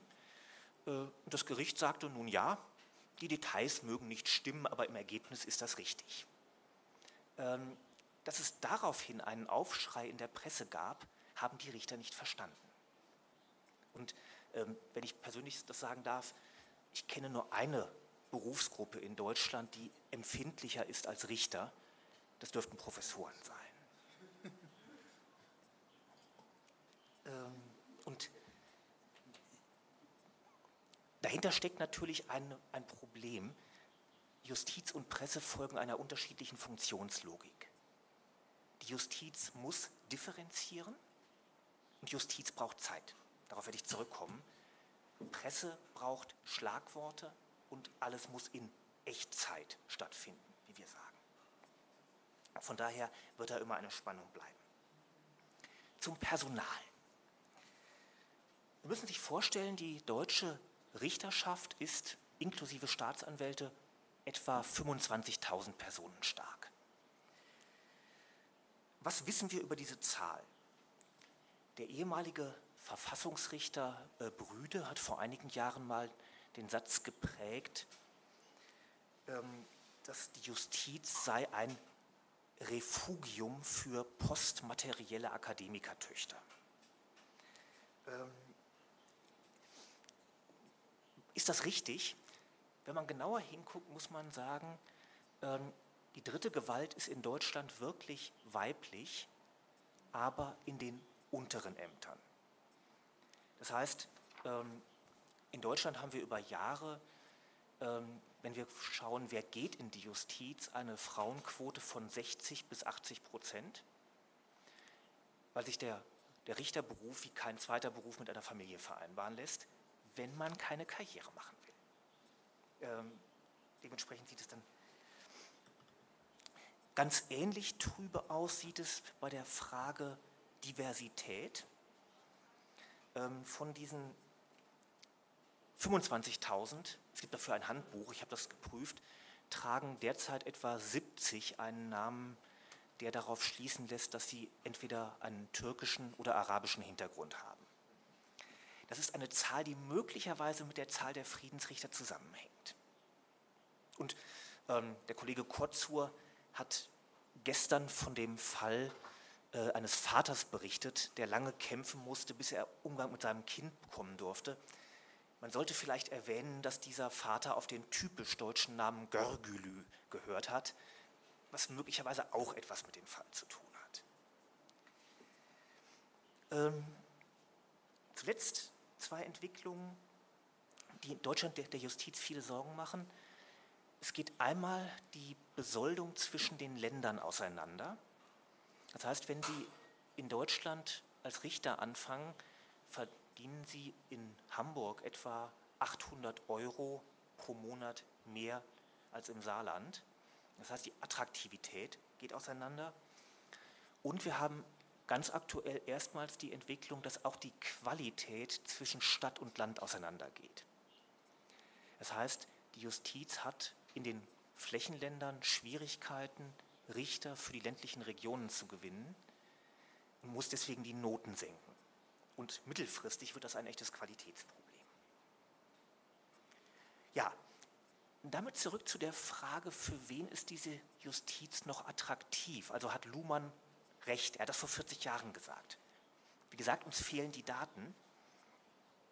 Aber meine Prognose ist in der Tat, vielleicht sucht die Justiz nicht die Leute, die Luhmanns Steckbrief entsprechen. Sie findet sie aber mit hoher Wahrscheinlichkeit. Damit zum Rechtsrahmen. Das kann ich relativ kurz fassen, denn der Rechtsrahmen der dritten Gewalt unter dem Grundgesetz ist relativ dürftig.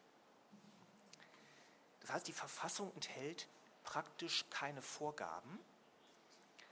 Und das führt wiederum dazu, dass wir in Deutschland fast alle Rechtsfragen der dritten Gewalt als Fragen der richterlichen Unabhängigkeit erörtern. Das ist im Grunde das gleiche Phänomen, das Herr Eberl mit den Grundrechten angesprochen hat. Ähm, übrigens ist auch ganz interessant, die Fragen, die ich hier erörtere, werden praktisch auch nicht vom europäischen Recht gesteuert. Dafür macht das keine Vorgaben.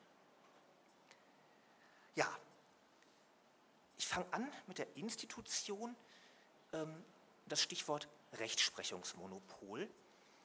Ich habe von den Friedensrichtern berichtet und viele meiner Kollegen sagen gleich, das müssen wir verbieten. Ähm, das verstößt gegen das Rechtsprechungsmonopol. Und hier wird man sagen müssen, so einfach ist das nicht. Was heißt unter dem Grundgesetz Rechtsprechungsmonopol? Der Staat ist in der Tat der Einzige, der verbindliche Entscheidungen fällen und dann auch erzwingen kann. Umgekehrt darf aber jede Privatperson in Deutschland Schlichtung anbieten und jeder Deutsche darf auch mit seinem Streit zu einem anderen Privaten gehen. Das heißt, ähm, im Ansatz ähm, handeln Friedensrichter grundsätzlich legal, egal ob sie das religiös oder anders machen. Und ähm, darüber hinaus wird daraus wenig zu folgern sein. Ähm, das Zweite, das kann ich kurz machen, gerade deutsche Richter ziehen gerne Schlussfolgerungen aus dem schlichten Umstand, dass ihre Gewalt die dritte Gewalt ist. Und sie leiten daraus etwa Anforderungen an die Finanzausstattung ab, darauf werde ich noch eingehen, auch an ihr Gehalt. Ähm, und hier wird, glaube ich, schlicht ähm, der Fehler gemacht, dass man einen heuristischen Rahmen, also wir teilen die Staatsgewalten nun mal in diese drei Kategorien ein, mit einer Rechtsaussage verwechselt. Und im Übrigen, das müsste für die zweite Gewalt auch gelten. Ähm, und dann beißt sich, wir sagen, die Katze in den Schwanz. Ähm, und das Gleiche gilt im Übrigen auch für die Regeln zur Gewaltenteilung. Die deutsche Verfassung kennt im Grunde keine strikte Gewaltenteilung wie in den USA sondern wir haben eine Vielzahl von Verschränkungen. Das heißt, in Deutschland ist es etwa ganz üblich nach der Verfassung, dass sich die Kontrollierten ihre Kontrolleure aussuchen. Äh, dahinter steckt auch die Idee, wenn die Kontrolle zu strikt ist, kann man jemand anderen dahinsetzen. Ja, damit zur Funktion und damit im Kern zur Unabhängigkeit und auch zur Effektivität. Also, zunächst mal, die richterliche Unabhängigkeit ist in praktisch allen modernen Verfassungen äh, niedergelegt.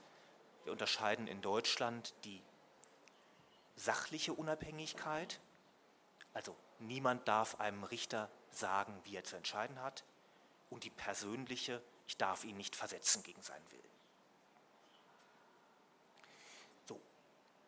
Warum ähm, ist es attraktiv, alles über Unabhängigkeit zu lösen?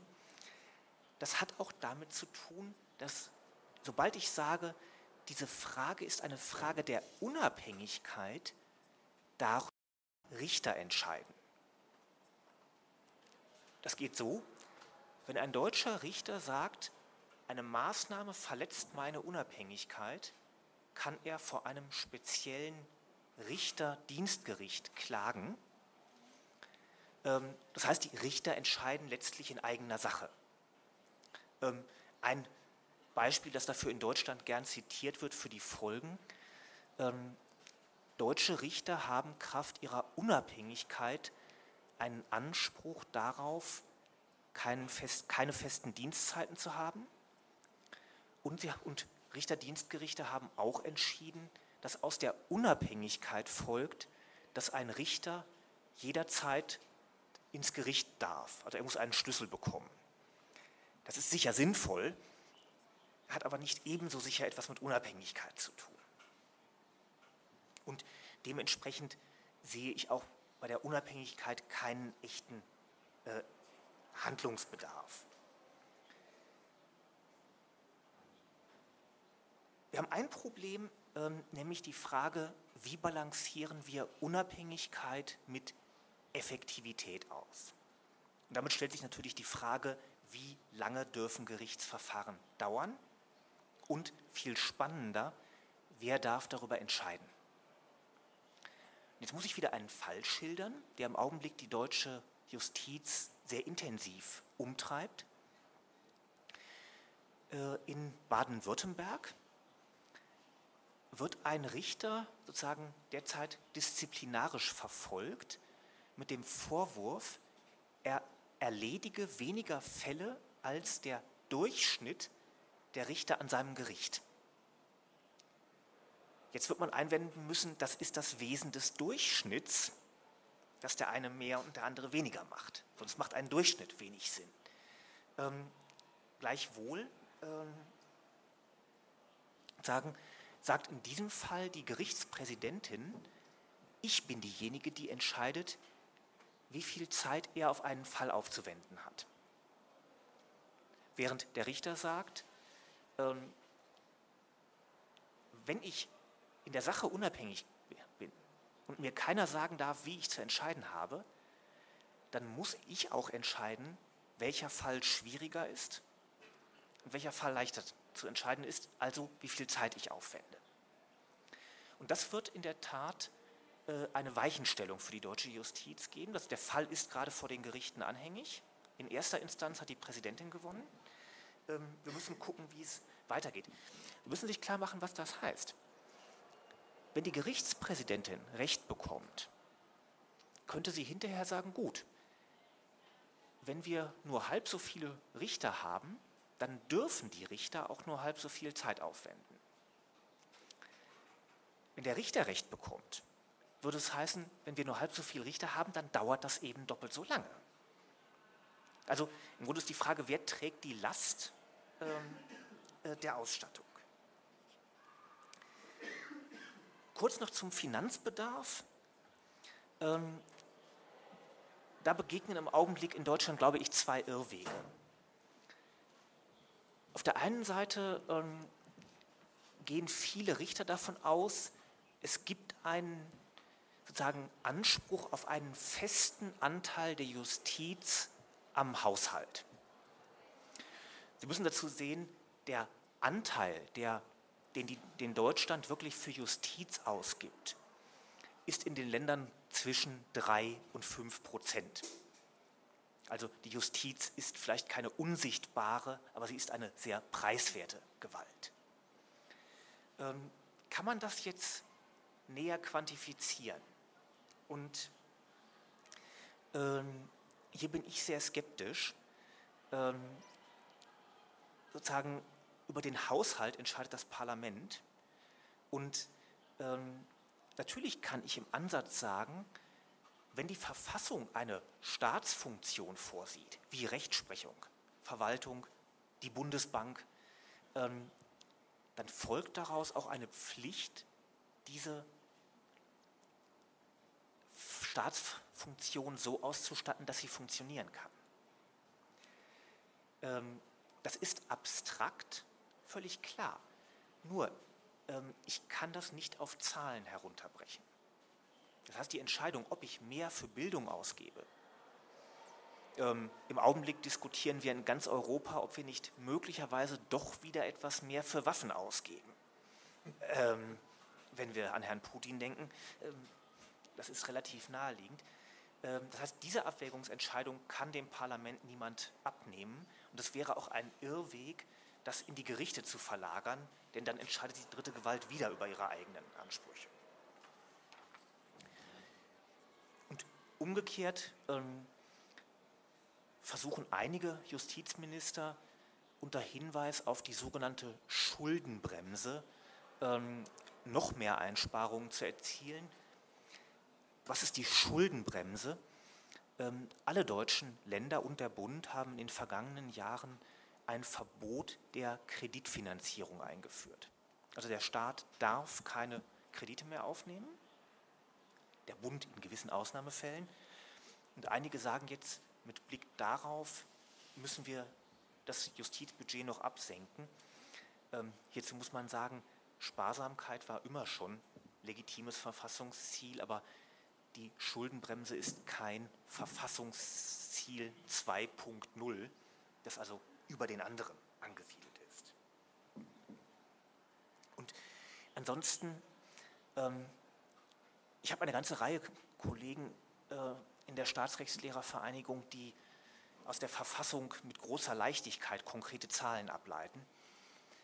Ähm, und für mich grenzt das immer an Verfassungskabbalistik. Ähm, also ich weiß nicht, wo diese Zahlen so genau herkommen. Und das heißt, man kann, die Wissenschaft kann überlegen, wie kann ich eine Grenze konturieren, ab der Justiz tatsächlich nicht mehr funktioniert oder ab der sie zumindest nicht mehr unabhängig funktioniert. Und auch dazu ein konkretes Beispiel. Ähm, wenn Sie mit deutschen Staatsanwälten sprechen, berichten die davon, dass zum Monatsende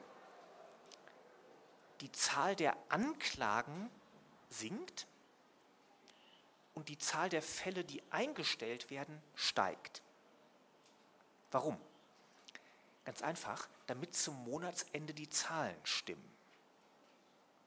Denn wenn ich den Fall einstelle, ist die Akte aus der Statistik. Wenn ich anklage, bleibt der Fall im System. Und wenn sich beweisen ließe, dass die so handeln, dann handeln sie nicht mehr nach dem Gesetz. Das wäre dann ein Problem. Ja, der dritte Punkt, zum, kurz zum Personal. Ähm, Richter werden in Deutschland nach zwei Modellen berufen. In der Hälfte der ähm, Länder erfolgt die Ernennung durch den Justizminister. Die andere Hälfte hat einen sogenannten Richterwahlausschuss. Das ist ein Ausschuss aus Parlamentariern und Richtern, teils auch Anwälten, die ähm, über verschiedene Schritte der Einstellung mitentscheiden. Ähm, wenn man genauer hinguckt, wird man allerdings sagen müssen, ähm, auch wo Justizminister draufsteht, stecken Richter drin. Das heißt, wer in Deutschland Richter wird, entscheiden Richter. Das sind also entweder Richter, die im Justizministerium abgeordnet sind und die meisten Länder, so mein Heimatstaat, ähm, haben es so gehandhabt, dass die Ernennung vom Minister delegiert worden ist auf die Präsidenten der oberen Gerichte. Also auch hier sucht sich die dritte Gewalt im Grunde ihren Nachwuchs selbst aus. Was davon hat sich bewährt? Ähm, hier muss man deutlich sagen, ähm, bin ich ein großer Anhänger der Ministerialernennung, denn die Richterwahlausschüsse haben eine relativ klare Tendenz hin zur Politisierung. Wieso? Ähm, die Politiker im Ausschuss sehen Richterämter als Verteilungsmasse. Jetzt sollte man meinen, die Richter im Ausschuss sollten das dann anders sehen. Das tun sie aber nicht, denn diese Richter werden ja auch irgendwie dahin gewählt. Und was wir ganz typisch erleben, sind Koalitionen zwischen den politischen Parteien und den verschiedenen Richtervereinigungen. Also wir haben in Deutschland eine linke Richtervereinigung, die nennt sich die neue Richtervereinigung, da sieht man es schon am Namen, die geht dann eben mit den Sozialdemokraten zusammen. Und Sozialdemokraten sind bei uns links, ähm, ähm, wenn ich das richtig sehe. Und ähm, dementsprechend es gibt einige Länder, die gerade über einen Richterwahlausschuss nachdenken. Ich würde da eher von ähm, abraten. Zum zweiten großen Thema, und das ist, muss man dazu sagen, wenn Sie derzeit mit einem deutschen Richter sprechen und ihn fragen, wo oder was ist das Problem der dritten Gewalt, kriegen Sie eine klare Antwort, es ist das Geld. Und Sie müssen nachfragen, er meint nicht das Geld für die Gerichte. Er meint sein Geld. Das heißt, ähm, deutsche Gerichter fühlen sich aggressiv unterbezahlt ähm, und ähm, klagen das auch massiv ein. Und jetzt gibt es hier ein Problem. Das Bundesverfassungsgericht, jetzt bin ich doch wieder beim Thema, ähm, hat vor äh, wenigen Jahren festgestellt, dass die Professorenbesoldung zumindest bei bestimmten Professorenämtern zu niedrig ist. Und ähm, sozusagen wie jedes zerbrochene Fenster ähm, ruft das jetzt Nachahmungstäter auf den Plan. Das heißt, jede weitere Berufsgruppe, unter anderem auch die Richter, klagt jetzt vor dem Verfassungsgericht ein, ähm, sie will mehr Geld. Und ähm, ich habe letzte Woche noch mit Richtern geprüft und das Erste, was die ansprachen, war diese Klage. Ähm, sie hoffen da jetzt drauf. Also das ist äh, ein großes Thema. Auch hier, das ahnen Sie jetzt schon, bin ich als Verfassungsrechtler sehr zurückhaltend. Ähm, auch hier ist meine Auffassung, Gerichte sind nicht der beste Platz, um noch dazu über die Besoldung der, Gericht, der, der Richter zu entscheiden. Das ist eine politische Entscheidung, es mag Grenzen geben. Ähm, aber ähm, auch hier ähm, wäre ich sehr zurückhaltend, aus der Verfassung direkt Zahlen abzuleiten. Damit bin ich schon beim dritten großen Punkt und damit auch beim letzten, nämlich beim Reformbedarf. Fange wieder bei der Institution an. Da stellen sich im Grunde zwei Fragen. Die Richterschaft debattiert im Augenblick, soll sich die deutsche Justiz ebenfalls selbst verwalten? Also das Autogoverno der ähm, dritten Gewalt. Ähm, die zweite Frage ist natürlich, wie gehen wir mit Paralleljustiz um? Also soll sich dritte Gewalt pluralisieren? Ich fange mit der Selbstverwaltung an. Deutsche Richter verweisen hier gerne darauf, ähm, dass Deutschland innerhalb Europas mittlerweile fast das einzige Land sei, das, dessen Justiz sich nicht selbst verwalte.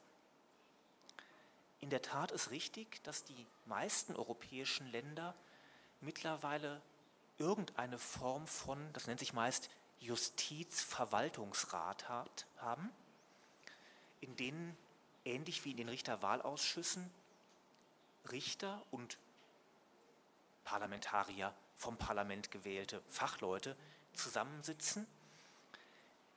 Wichtig ist, diese Justizverwaltungsräte ernennen nicht nur Richter, in anderen Ländern Europas, sondern sie sind im Grunde für alles zuständig, was früher der Justizminister gemacht hat. Also Ernennung, Beförderung, Haushalt, Verwaltung, Disziplinarrecht. Es gibt in Deutschland mehrere Entwürfe der Richtervereinigungen, die so etwas umsetzen wollen. Der Deutsche Richterbund, das ist die große, etwas konservativere Richtergewerkschaft, hat ein sehr zurückhaltendes Modell, das sich sehr eng an die Rechtsprechung anlehnt. Und die zentrale Frage ist dabei immer, ähm, entspricht das den Vorschriften des Bundesverfassungsgerichts zur sogenannten demokratischen Legitimation? Ähm, das Bundesverfassungsgericht hat ein sehr deutsches Modell entwickelt, wie sozusagen Entscheidungen der Staatsorgane auf den Willen des Volkes zurückgeführt werden können. Das ist natürlich eine Fiktion. Ähm, aber ohne Fiktionen können wir Juristen unseren Alltag nicht bewältigen. Ähm, und sozusagen der Deutsche Richterbund hat sozusagen sehr darauf geachtet, und das ist dann im Grunde die Kernfrage, dass es in diesen Gremien nie eine Mehrheit von Richtern gibt. Während die linke Vereinigung sozusagen eine solche Mehrheit vorsieht, und das wäre in der Tat mit der bisherigen Rechtsprechung nicht vereinbar. Sollen wir so etwas machen? Also, soll auch Deutschland mehr Selbstverwaltung haben? Und mein Kernproblem ist nicht die ähm, demokratische Legitimation. Wenn man Richter fragt, warum wollt ihr das denn machen, heißt es immer, wir wollen mehr Unabhängigkeit. So. Und dann ist meine Frage, habe ich mehr Unabhängigkeit für den einzelnen Richter, wenn die Entscheidungen, die bisher der Justizminister trifft, von Richtern getroffen werden? Und dann sehe ich den Unterschied nicht. Denn wenn Sie sich anschauen, welche Fälle werden in Deutschland wirklich verhandelt, wo es zu Eingriffen in die Unabhängigkeit kommt, ähm, dann sind diese Fälle immer von anderen Richtern ausgegangen. Also etwa, es gab den Fall, das war ein Eingriff in die Unabhängigkeit, da hat ein Vorsitzender Richter einen jüngeren Richter gezwungen, in der Urteilsbegründung etwas zu ändern. Das ist der mit Händen greifbare Eingriff in die Unabhängigkeit. Nur daran würde sich doch unter der Selbstverwaltung nichts ändern. Das heißt, ich habe nach wie vor einen Gerichtspräsidenten, der ist jetzt von den Richtern gewählt, aber der will die Fälle irgendwie erledigt kriegen. Und das ist dann derjenige, der entweder Erwartungsdruck ausübt oder Erwartungs, äh, oder, nee, Entschuldigung, Erledigungsdruck ausübt oder Erledigungserwartungen äußert. Also ich verschiebe nur den Gefährder. Ähm, von daher glaube ich nicht, dass das etwas bringt. Es kommt etwas hinzu. Ähm, ich habe Ihnen von dem Luhmann-Zitat berichtet. Die deutsche Justiz hat in der Zeit jetzt über Jahrzehnte Menschen rekrutiert, die ausdrücklich nicht dafür verantwortlich sein sollten, oder wollten, wie denn die Regeln ihrer Arbeit zustande kommen. Das heißt, die haben einfach nicht das Personal, das sozusagen jetzt tatsächlich eigene Akzente setzt, diese Verwaltung durchzuführen. Bei der Pluralisierung habe ich zunächst mal gesagt, in der Tat, im Ansatz darf ähm, jeder in Deutschland schlichten und es darf, es darf auch jeder zu einem Schlichter gehen. Deswegen stellt sich die Frage, sollte Deutschland tatsächlich, wie das andere Staaten tun, für eine, ich sage jetzt mal, religiöse Gerichtsbarkeit sich stärker öffnen? Also beispielsweise gibt es in den USA eine starke jüdische Schiedsgerichtsbarkeit und zwar, jetzt muss man unterscheiden, wirklich Schiedsgerichtsbarkeit im formellen Sinne, das ist anerkannt vom Staat, wird in gewissem Umfang überprüft ähm, und kann dann erzwungen werden. Das gleiche gibt es in Großbritannien. Dort gibt es tatsächlich ein Muslim Arbitration Tribunal, also ein muslimisches Schiedsgericht. In Deutschland gibt es so etwas derzeit nicht. Ähm, auch hier wäre ich sehr skeptisch, ob wir uns da stärker öffnen sollten. Wenn wir es machen, wäre mir wichtig, dass wir es für alle Religionen gleich gestalten und nicht sozusagen ähm, einige Religionen gleicher als andere behandeln, wozu die deutsche Rechtsordnung immer noch neigt. Ähm, aber generell sollten wir an der Stelle beherzigen, ähm, das Grundgesetz ruht auf der Erfahrung eines jahrhundertelangen Kampfes des Weltlichen gegen das geistliche Recht. Und es beruht auch, dadurch, da, es beruht auch darauf, dass sich das weltliche Recht durchgesetzt hat. Und deswegen sollten wir sehr sorgfältig darauf achten, ähm, dass wir Raum für religiöses Recht nur lassen, äh, wenn klar ist, dass das weltliche Recht die Grenzen setzt und die auch überwachen kann. Und solange das nicht der Fall ist, sollten wir die Finger davon lassen. Bei der, um, bei der Frage sollten wir in Sachen Unabhängigkeit oder Effektivität etwas ändern, sehe ich keinen Reformbedarf. Ich sehe bloß Bedarf, darauf hinzuweisen, ähm, was soll eigentlich Justiz? Warum leisten wir uns den Luxus einer dritten Gewalt? Und da gilt es auf einige ganz basale Punkte hinzuweisen. Ähm, Justiz braucht Zeit und Justiz ist auf andere Weise effektiv als bloß viel zu erledigen.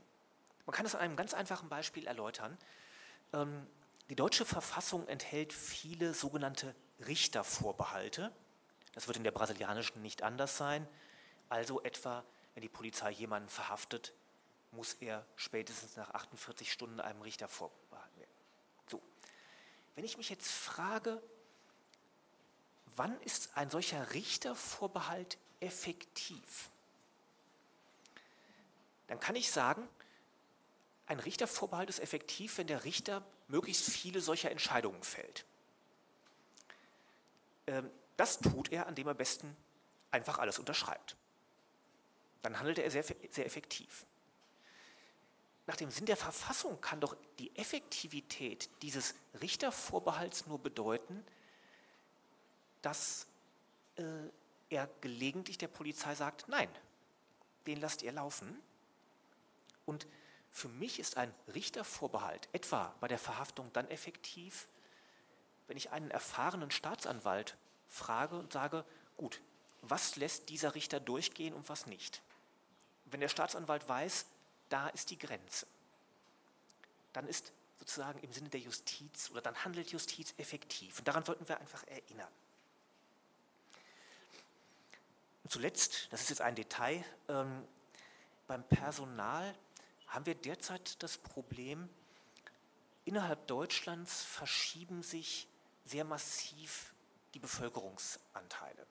Das heißt, wir haben eine massive Wanderung in die Städte und nicht nur Teile Ostdeutschlands, sondern auch ländliche Regionen Westdeutschlands werden in den nächsten Jahren bis zu 30 bis 50 Prozent ihrer Bevölkerung verlieren.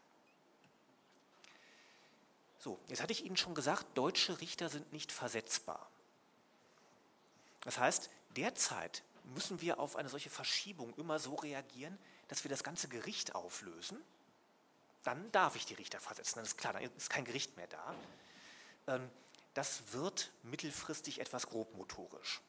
Das heißt, hier wird man durchaus überlegen müssen, ob man einen Richter nicht auch versetzen kann unter Kontrolle, wenn ich wirklich feststelle, ich habe ein Gericht, das 80 Prozent mehr erledigt und ein anderes, das praktisch nichts mehr zu tun hat. Ja, damit komme ich auch zum, zum Schluss. Ich habe anfangs das Bild vom Kloster bemüht. Ähm, und ganz sicher kann die deutsche Justiz heute nicht mehr mit klösterlicher Ruhe und Gelassenheit agieren.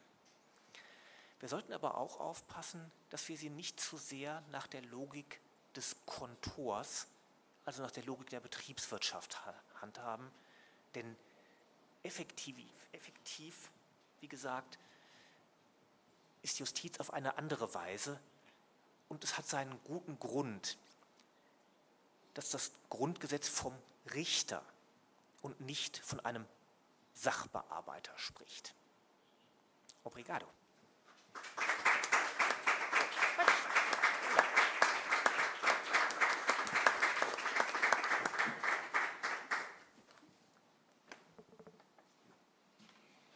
Muito bem, agradeço imensamente a fala do professor Vitrek.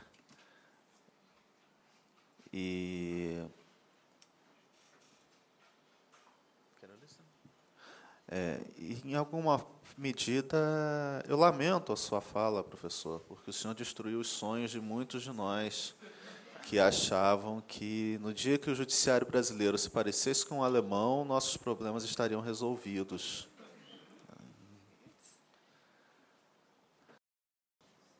Bom, Passamos então, feitas essas considerações, passamos então a parte das perguntas e vocês vão ter oportunidade de formular as questões que quiserem. Eu só peço que, por gentileza, falem no microfone para o tradutor poder é, transmiti-las para os nossos palestrantes. E para desinibi-los, eu vou tomar a iniciativa, porque eu fiquei com uma, algumas curiosidades com relação a ambas as falas. Então, apenas para respeitar a sequência, primeiro para o professor Nettesheim. Nós, é, nós vivemos hoje, um, nós estamos verificando hoje uma realidade de grande questionamento à manutenção e à continuidade da União Europeia. Percebemos que em vários países, grupos organizados de, é, de uma orientação contrária à continuidade da União, aos eurocéticos, é, têm crescido, ganhando tamanho, inclusive na recente eleição para o Parlamento Europeu, conseguiram um número importante de cadeiras. É, Diante dessa, diante desse cenário de fragilidade da União Europeia, o senhor entende possível aplicar uma maior vinculação dos tribunais nacionais e do direito nacional ao direito comunitário, como o senhor propôs na sua fala? O senhor acha que hoje existe condições para aplicar essa ideia?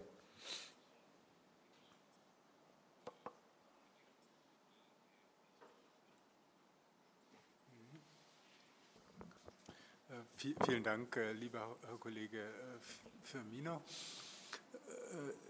Äh, in, in, der Tat wird politisch der, der, Weg der Europäischen Union zunehmend hinterfragt. Ähm, das ist etwas,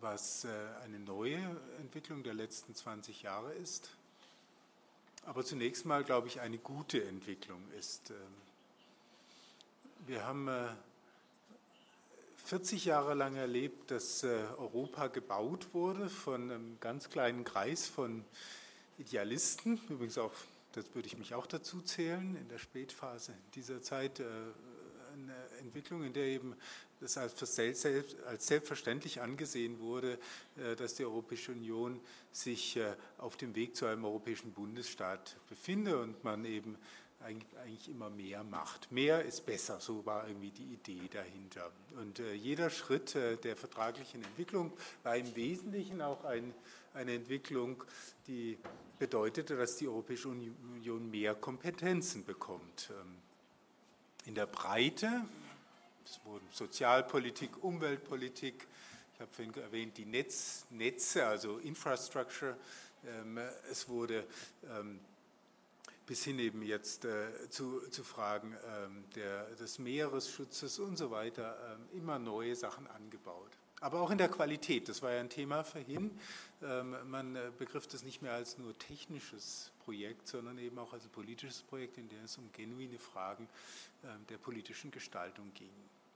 Wir sind jetzt, und äh, Herr Firmino hat es angedeutet, in eine Phase eingetreten, in der gefragt wird, ist das eigentlich eine gute Entwicklung, dass wir einfach mehr immer mit besser äh, übersetzt haben. Und da gibt es dann äh, in der Tat einige Gruppen, ähm, sagen wir in Deutschland zum Beispiel, die sagen, ähm, im Bereich der Währungsunion muss dieser Weg korrigiert ähm, werden, vielleicht sogar ganz revidiert werden. Es seien Fehlentwicklungen, die in die ähm, wirtschaftliche Situation Europas mit diesen großen Spannbreiten äh, wirtschaftlicher Leistungsfähigkeit, Wettbewerbsfähigkeit nicht hineinpassen und dann verschiedene Wege vorschlagen, wie man eben hier aus mehr Europa jetzt ein anderes Europa machen kann. Manches davon ist sicher überlegenswert, zum Beispiel, dass man eben sagt, äh, wir müssen äh, mehr auf ähm, Strukturen achten und so weiter. Anderes, wie zum Beispiel die Idee, die Kollegen von mir haben, ähm, dass man zwei Euros einführt, ein Nordeuro für die Wirtschaftsstarken und dann einen Südeuro für die weniger Starken, ähm, äh, Länder und vielleicht sogar noch weitere Parallelwährungen, das ist etwas, was Ökonomen sicher sich ausdenken können, aber ähm, etwas, was also letztlich politisch aussichtslos ist. Ähm, aber das, diese Diskussion ist ja eben nicht nur jetzt inzwischen auf die, auf die Währungsunion beschränkt, sondern das Vereinigte Königreich äh, verlangt ja auch in anderen Bereichen Reformen und sagt, äh, mehr ist nicht immer besser, sondern äh, man muss eben ein ausdifferenziertes Europa haben, in dem man fragen muss, was soll eigentlich oben und was soll unten auf nationaler Ebene geschehen. Ich glaube, dass die ähm, so, so, so, problematisch Cameron politisch agiert und äh, so sehr er eigentlich momentan in eine Art Falle gerät, äh, die ihn, äh, wenn er wiedergewählt werden soll, nächstes Jahr quasi dazu zwingen wird, das Referendum zu verlieren. Aber äh, so sehr also da politisch unklug agiert, so klug ist es eigentlich wirklich zu fragen, ist die Europäische Union dazu berufen, im Bereich Agrarpolitik, Sozialpolitik und so weiter und so fort immer mehr in die Verhältnisse der Mitgliedstaaten hineinzuregieren. Oder wäre es nicht sinnvoll, diese Fragen, es gibt Transferprobleme, reiche Staaten, die arme Staaten äh, unterstützen sollen, diese Transferprobleme von der Frage, wie die Verhältnisse vor Ort aussehen, zu lösen. Bisher sind die in der Sozialpolitik zum Beispiel eben engstens verknüpft. Wenn man, äh, was, wenn man Geld aus Brüssel haben will, braucht man ein konkretes Projekt und dann muss Brüssel eben dieses Projekt auch tatsächlich ähm, verwalten. Das ist nicht sinnvoll. Wie das äh, weitergehen wird, äh, lieber Kollege, äh, ist nicht so ganz klar. Ähm, es gibt die Gegenposition, ähm, die aus ganz unterschiedlicher Richtung weiter sagt, wir brauchen noch mehr Europa, wir brauchen noch mehr europäische Regierung, noch mehr europäische Politik, noch mehr europäische Transfersysteme. Inzwischen arbeitet die Europäische Union an einer europäischen Arbeitslosenversicherung von der Idee her klug. Wenn es einen Aufschwung in Deutschland gibt und einen Niedergang der Arbeitslosigkeit in Deutschland, warum sollen da nicht Transfersysteme geschaffen werden, die den Arbeitslosen in Spanien helfen? Und umgekehrt, wenn es in Deutschland zurück, die Wirtschaft, äh, der Aufschwung zurückgeht, warum soll dann nicht irgendwie ein Ausgleich in umgekehrter Richtung erfolgen? Aber die, die Verwaltungslast eines paneuropäischen Arbeitslosensystems, was dann irgendwann auch eine Harmonisierung anderer Sozialversicherungssysteme nach sich ziehen wird, Rentenversicherung und so weiter, das ist ein, ähm, ein die Engländer würden sagen Behemoth, also eine Art Monstrum, ähm, auch aus, aus Privatheitsperspektive, Datenschutzperspektive und so weiter, das man sich momentan kaum vorstellen kann. Das ist also ein bisschen der Rahmen, in dem sich die Diskussionen bewegen. Es, es ist halt eine Diskussion, die Rückschritte nur zulässt, wenn sich alle einig sind. Äh, man hat äh, eine Art Institutional Capture, so, würde man es wohl sagen, ähm, das Erreichte kann eben auch nur rückgängig gemacht werden, wenn Einstimmigkeit da ist. Jeder Mitgliedstaat hat ja bei jeder Vertragsrevision eine Veto-Position. Und das führt eben letztlich dazu, dass man eigentlich momentan bei allen Problemen im Bereich, also eigentlich momentan sehr statisch ist und eigentlich ziemlich äh, blockiert ist. Das zeigt ja auch gerade jetzt die Reform der Währungsunion, die nicht innerhalb der Verträge erfolgt, sondern durch Anbauten wie den European Stability Mechanism, die Fiskal, den Fiskalvertrag und so weiter und so fort. Das, Vertrag, das System wird also unübersichtlicher, weil es gegenwärtig kaum reformierbar ist. Vielleicht aber eben auch, weil der politische Wille eben gar nicht da ist, das in die eine oder andere Richtung klar zu reformieren. Wir werden also durch schwierige Zeiten gehen. Das ist ganz klar. Aber lassen Sie mich enden auf die, auf die, als Antwort. Also optimistisch, äh, Europa ist immer wieder durch schwierige Phasen gegangen und der, der grundsätzliche Wille, das Projekt fortzuführen, der ist ungebrochen. Selbst bei Skeptikern. Es geht um das Wie, nicht um das Ob.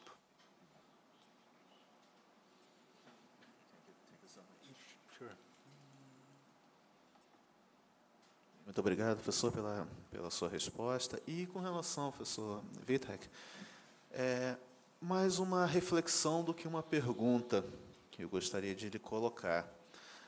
Afinal, me parece que há um, há um acordo entre os dois lados do Atlântico sobre esse conflito que nós vivemos na relação com o Poder Judiciário. Um conflito que, ao mesmo tempo, espera receber decisões mais rápidas, associando a velocidade na prestação jurisdicional com a justiça da decisão e decisões melhores. Nós, estudiosos do direito, passamos aqui no Brasil pelo menos os últimos 15 anos discutindo como melhorar a qualidade das decisões judiciais, a fundamentação das decisões, exigindo dos juízes isso. E, ao mesmo tempo em que exigíamos esse tipo de postura, também cobrando celeridade, uma produtividade maior. E o resultado que nós estamos vendo é que nenhuma coisa nem outra realmente mudou efetivamente. Então, me parece que esse problema ele não é apenas brasileiro, ele talvez seja um problema global ah, que talvez diga respeito a uma questão sistêmica, a própria estrutura do poder judiciário e do processo judicial, que talvez não tenham sido adaptadas à realidade de um mundo atual com um grau de conflito social extremamente elevado e um modelo jurídico constitucional que coloca para o Poder Judiciário uma responsabilidade talvez grande demais. Talvez ele não tenha condições, com, por mais que seja adaptado, de enfrentar, de lidar. Então, como eu falei, é, não é bem uma pergunta, é mais uma reflexão que eu gostaria de dividir e ouvir a sua opinião a respeito desse tema. Obrigado.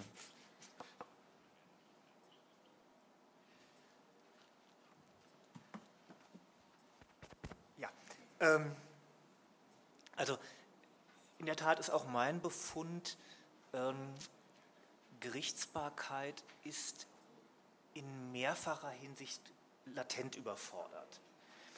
Das fängt schon damit an, ähm, dass sich Richter nicht hinreichend klar machen, dass Menschen von ihnen nicht bloß eine Sachentscheidung wollen, sondern letztlich Gerechtigkeit. Das ist im Grunde, im Grunde agieren wir Juristen wie ein Arzt, der nicht versteht, dass Menschen von ihm Heilung wollen und nicht bloß Wiederherstellung der Funktionsfähigkeit. Und ähm, das ist sozusagen ein Grundproblem, das, glaube ich, sozusagen noch äh, da angelegt ist. Ansonsten in der Tat hat die Justiz also mehrere systemische Probleme. Ähm, möglicherweise zieht sie nicht nur in Deutschland ähm, diejenigen an, ähm, äh, die dann in dieser Form agieren also man muss fragen, für wen ist Justiz aktiv oder attraktiv? Ähm, und es kommt hinzu, ähm, sie sieht sich heute mit einer ähm, sonstigen Form von Staatsverwaltung konfrontiert, die sich einseitig an Ökonomie orientiert und deswegen einseitig an Zahlen orientiert. Sie haben ja zu Recht gesagt, also hier wie dort, Qualität wird mit Schnelligkeit gleichgesetzt. Weil ich, das hat einen einfachen Grund, ähm, Zahlen kann ich leichter erheben.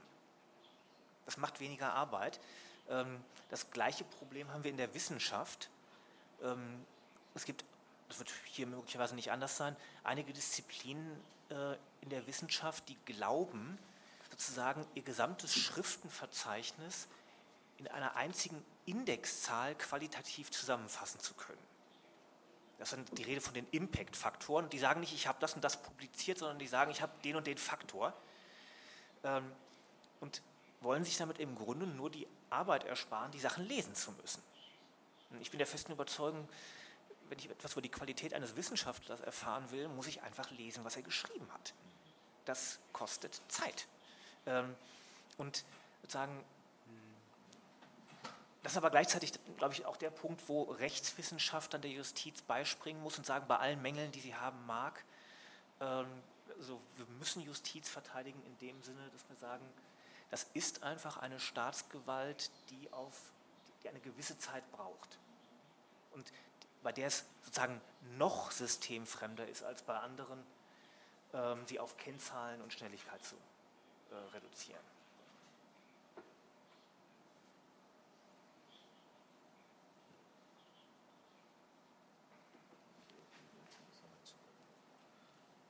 Muito bem, como prometido, agora que eu já me satisfiz, passo a palavra para quem da plateia quiser elaborar alguma questão.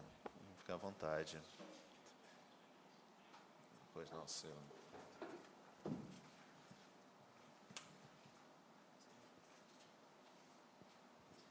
Bom dia, meu nome é Ruth, sou aluna do segundo semestre de Direito daqui da, da universidade. Na sua fala, uh, o senhor Fabian disse que os políticos alemães é, veem os cargos dos juízes como massa de manobra e que ocorrem coalizões entre os partidos e os juízes. Falou também que na Alemanha, a Alemanha é o único país cujo judiciário não pratica a autogestão na União Europeia. Eu queria saber quais são os principais problemas causados por esse tipo de coalizão dentro da Alemanha e que os senhores acham que seria a solução para esse problema.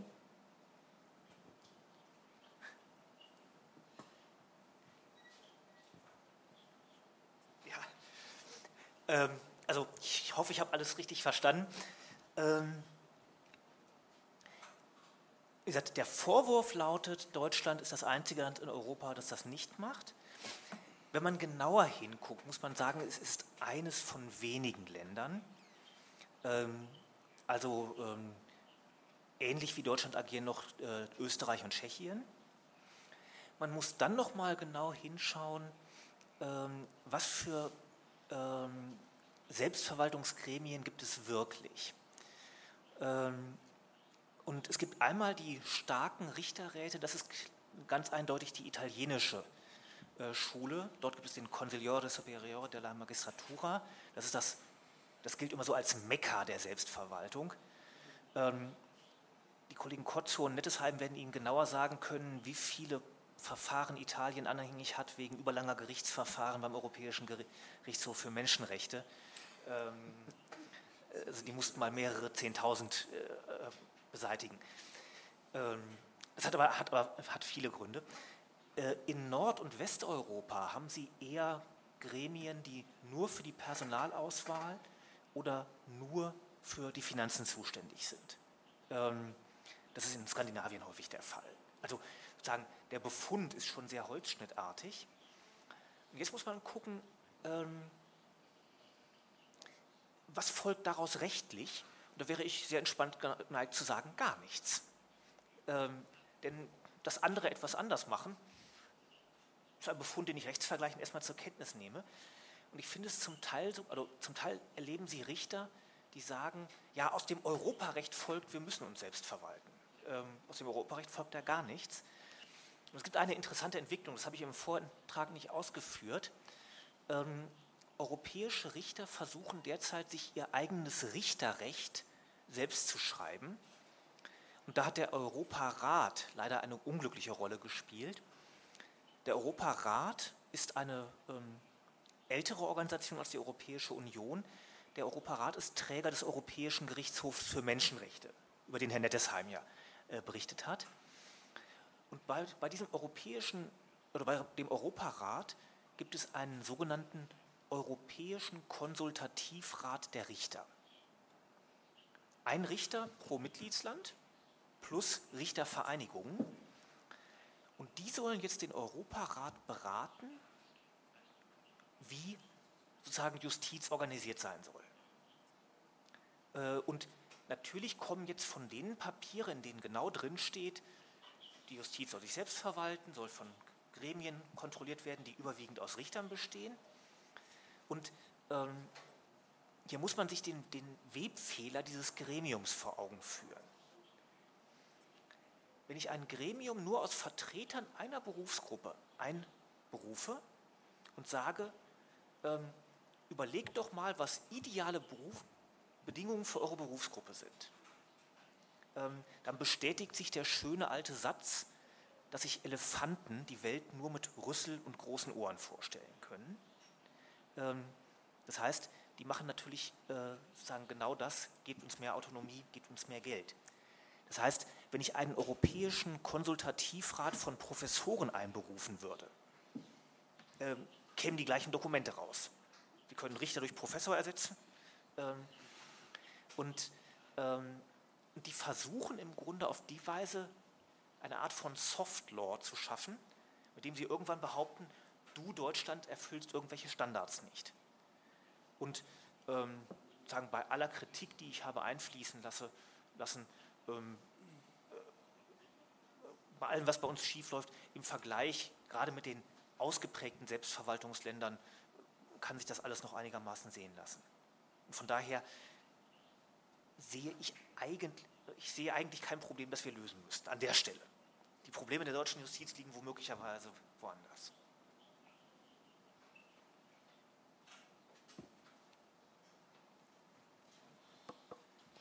Alguém mais? Dá... Temos tempo para mais uma pergunta por conta do. Desculpa, temos tempo para mais uma pergunta por conta do tempo do tradutor, ok?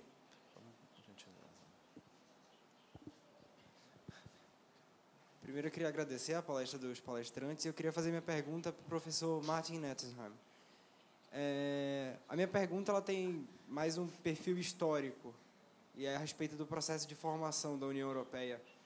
É, eu vejo que a Europa, ao longo do, dos séculos XIX, XX e alguns séculos anteriores, também foi marcada por muitos conflitos e que essas divergências acabaram é, eclodindo na Primeira e na Segunda Guerra Mundial. E a minha pergunta é se essas outrora divergências auxiliaram ou atrapalharam o processo de formação da União Europeia? E se hoje você ainda consegue perceber algumas marcas desse, de, desses conflitos num, e que acabam tentando não legitimar a existência da União Europeia, acabam atrapalhando o processo da União Europeia os procedimentos que ela realiza. Obrigado.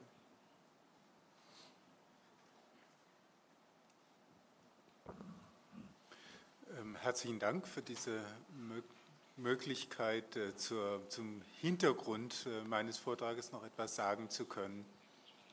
Äh, in, in der Tat ist die Europäische Union die, die unmittelbare Antwort und verdankt ihre erste Existenzberechtigung den Entwicklungen im, äh, in der ersten Hälfte des 20. Jahrhunderts, zwei ähm, Weltkriege, aber Kriege, die eben ähm, von Europa aus ausgingen und äh, die nicht zuletzt eben auch Gründe in der deutschen Politik hatten.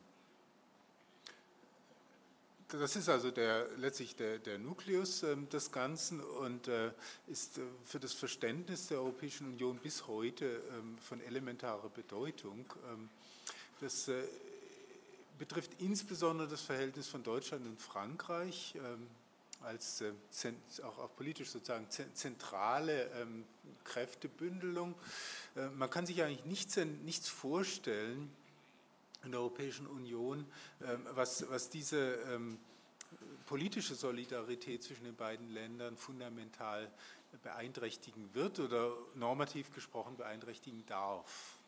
Und das bedeutet also gerade jetzt mit Blick auf die Währungskrise, ähm, dass wir ökonomisch sicher unterschiedliche Interessen haben und unterschiedliche Wege vorschlagen, aber dass eben nichts passieren darf, was äh, in diesem Fall jetzt zu einer Spaltung führt und äh, eben, wie ich es gerade angedeutet habe, eine Nord-EU gegen eine Süd- und französisch geprägte Union stellen wird. Auf der anderen Seite muss man eben ähm, sagen, dass gerade bei den jüngeren und, auch bei sozusagen den mittelalterlichen äh, Bevölkerungskreisen äh, das inzwischen Vergangenheit ist. Äh, wir, wir haben nicht zuletzt eben über Freedom of Movement, also ähm, Freizügigkeit, über Erasmus und so weiter einen derartig lebhaften Austausch, dass man sagen muss, da ist Europa inzwischen eins geworden. Als, ich, als ich klein war, war das noch irgendwie etwas, äh, ein Italiener, der da in dem Ort, in dem ich wohnte, war. Das war irgendwie doch jemand von woanders. Oder auch, es war eine Zeit, in der viele Portugiesen kamen. Ähm, aber heute ist das, weiß nicht, wie es Ihnen geht, liebe Kollegen, aber ähm, das ist heute kein Thema mehr. Wir sind sozusagen alle, wir gehören alle dazu. Die Frontlinien verlaufen, Herr Wittrek hat es deutlich gemacht, eher eben jetzt in Richtung Arabien. Ähm, Deutschland ist nicht so sehr betroffen von Einwanderung, Zuwanderung aus, Afrika oder so. Frankreich ist das eine Frontlinie. Aber Sie sehen, wenn, wenn Sie überlegen, wo Frontlinien verlaufen, ist es nicht mehr, nicht mehr Europa. Und insofern muss man sagen, ist das also letztlich überwunden. Europa hat diesen Friedensauftrag erfüllt und ich kenne wirklich niemanden, auch äh, der, der sich vorstellen kann, dass man untereinander nochmal irgendeinen Konflikt, militärischen Konflikt anfängt. Auf der anderen Seite ist eben jetzt auch die, die, die Währungsunion ein Mahnmal, ähm, dass äh, die jetzt politische Solidarität auch Grenzen hat ähm, und die Europäische Union jetzt eben äh, dann doch noch weit in ihrer internen Struktur, Kohärenz, in der Verwobenheit unserer Identitäten immer noch weit vor einem Bundesstaat steht und, und weit davon entfernt ist. Also große Verteilungsentscheidungen. Wir ähm, retten Griechenland, ähm, indem wir sie einfach die Schulden übernehmen. Oder wir befreien Italien von 200 Milliarden Euro ähm, Staatsschulden, indem man das alles in einen Pool wirft. Alles sind äh, ja Vorschläge, die gemacht wurden. Das ist politisch eben in äh, vielen, in eigentlich allen Mitgliedstaaten noch nicht tragbar. Also wir haben da weite Wege zurückgelegt, aber sind irgendwo auf einem, ähm, irgendwo auf einem Punkt angelangt, der noch weit vor einer ähm, echten bundesstaatlichen Solidarität liegt. Und dazu vielleicht eine letzte Überlegung. Auch dort, auch in der bundesstaatlichen Solidarität, meine Damen und Herren, gibt es ja sehr unterschiedliche Modelle. Ich bin jetzt gerade aus, aus Kalifornien gekommen. Und also in den USA ist es auch kein politisches Thema, dass äh, jetzt äh, der amerikanische Bund in Washington, äh, Kalifornien so einfach ein Bailout machen würde und äh, die, wenn die Schwierigkeiten haben, ähm, durch Bundesgelder retten würden.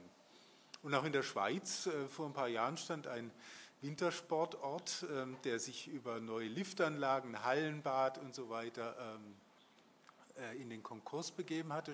Da stand man vor der Frage, soll der, soll der Schweizer Bund, die Bundesregierung oder vielleicht auch der Kanton oder zwischen den Kantonen, soll da geholfen werden? Und da wurde auch gesagt, nein, wer sich in so eine Situation begibt, muss nicht zuletzt zur Bekämpfung von Moral Hazard auch mit den Folgen umgehen. Ich will also nur sagen, ich sage nicht, das eine ist besser als das andere, aber ich will Ihnen sagen, dass selbst also in so dicht gewobenen Bundesstaaten wie der Schweiz oder auch in Amerika die Lösungswege in solchen Situationen sehr unterschiedliche sind. Dankeschön.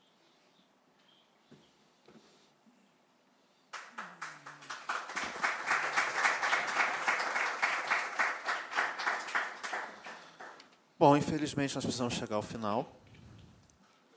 foi. Eu gostaria de aproveitar aqui esse, esse momento para agradecer profundamente a presença dos professores Martin Nettesheim, Fabian Wittrek, que, que, nos falam hoje, e também, mais uma vez, aos professores Marcos Kotzur e Oliver Eber, que nos falaram ontem à noite. Agradecer a presença de vocês nesse projeto do IDP de internacionalização, de que permite a vocês ter contato com o que está acontecendo hoje nos principais centros de pensamento do direito mundiais e convidá-los a se fazerem presente nas próximas oportunidades que podem ter certeza, em breve acontecerão. Então, em nome do ministro Gilmar Mendes, que precisou se ausentar, em nome do Instituto Brasileiro de Direito Público, agradeço mais uma vez a presença de todos, em especial dos palestrantes aqui que compõem a mesa. Desejo a todos um bom dia, espero que tenham aproveitado muito nossa atividade. Eu, com certeza, aproveitei. Muito obrigado, bom dia a todos.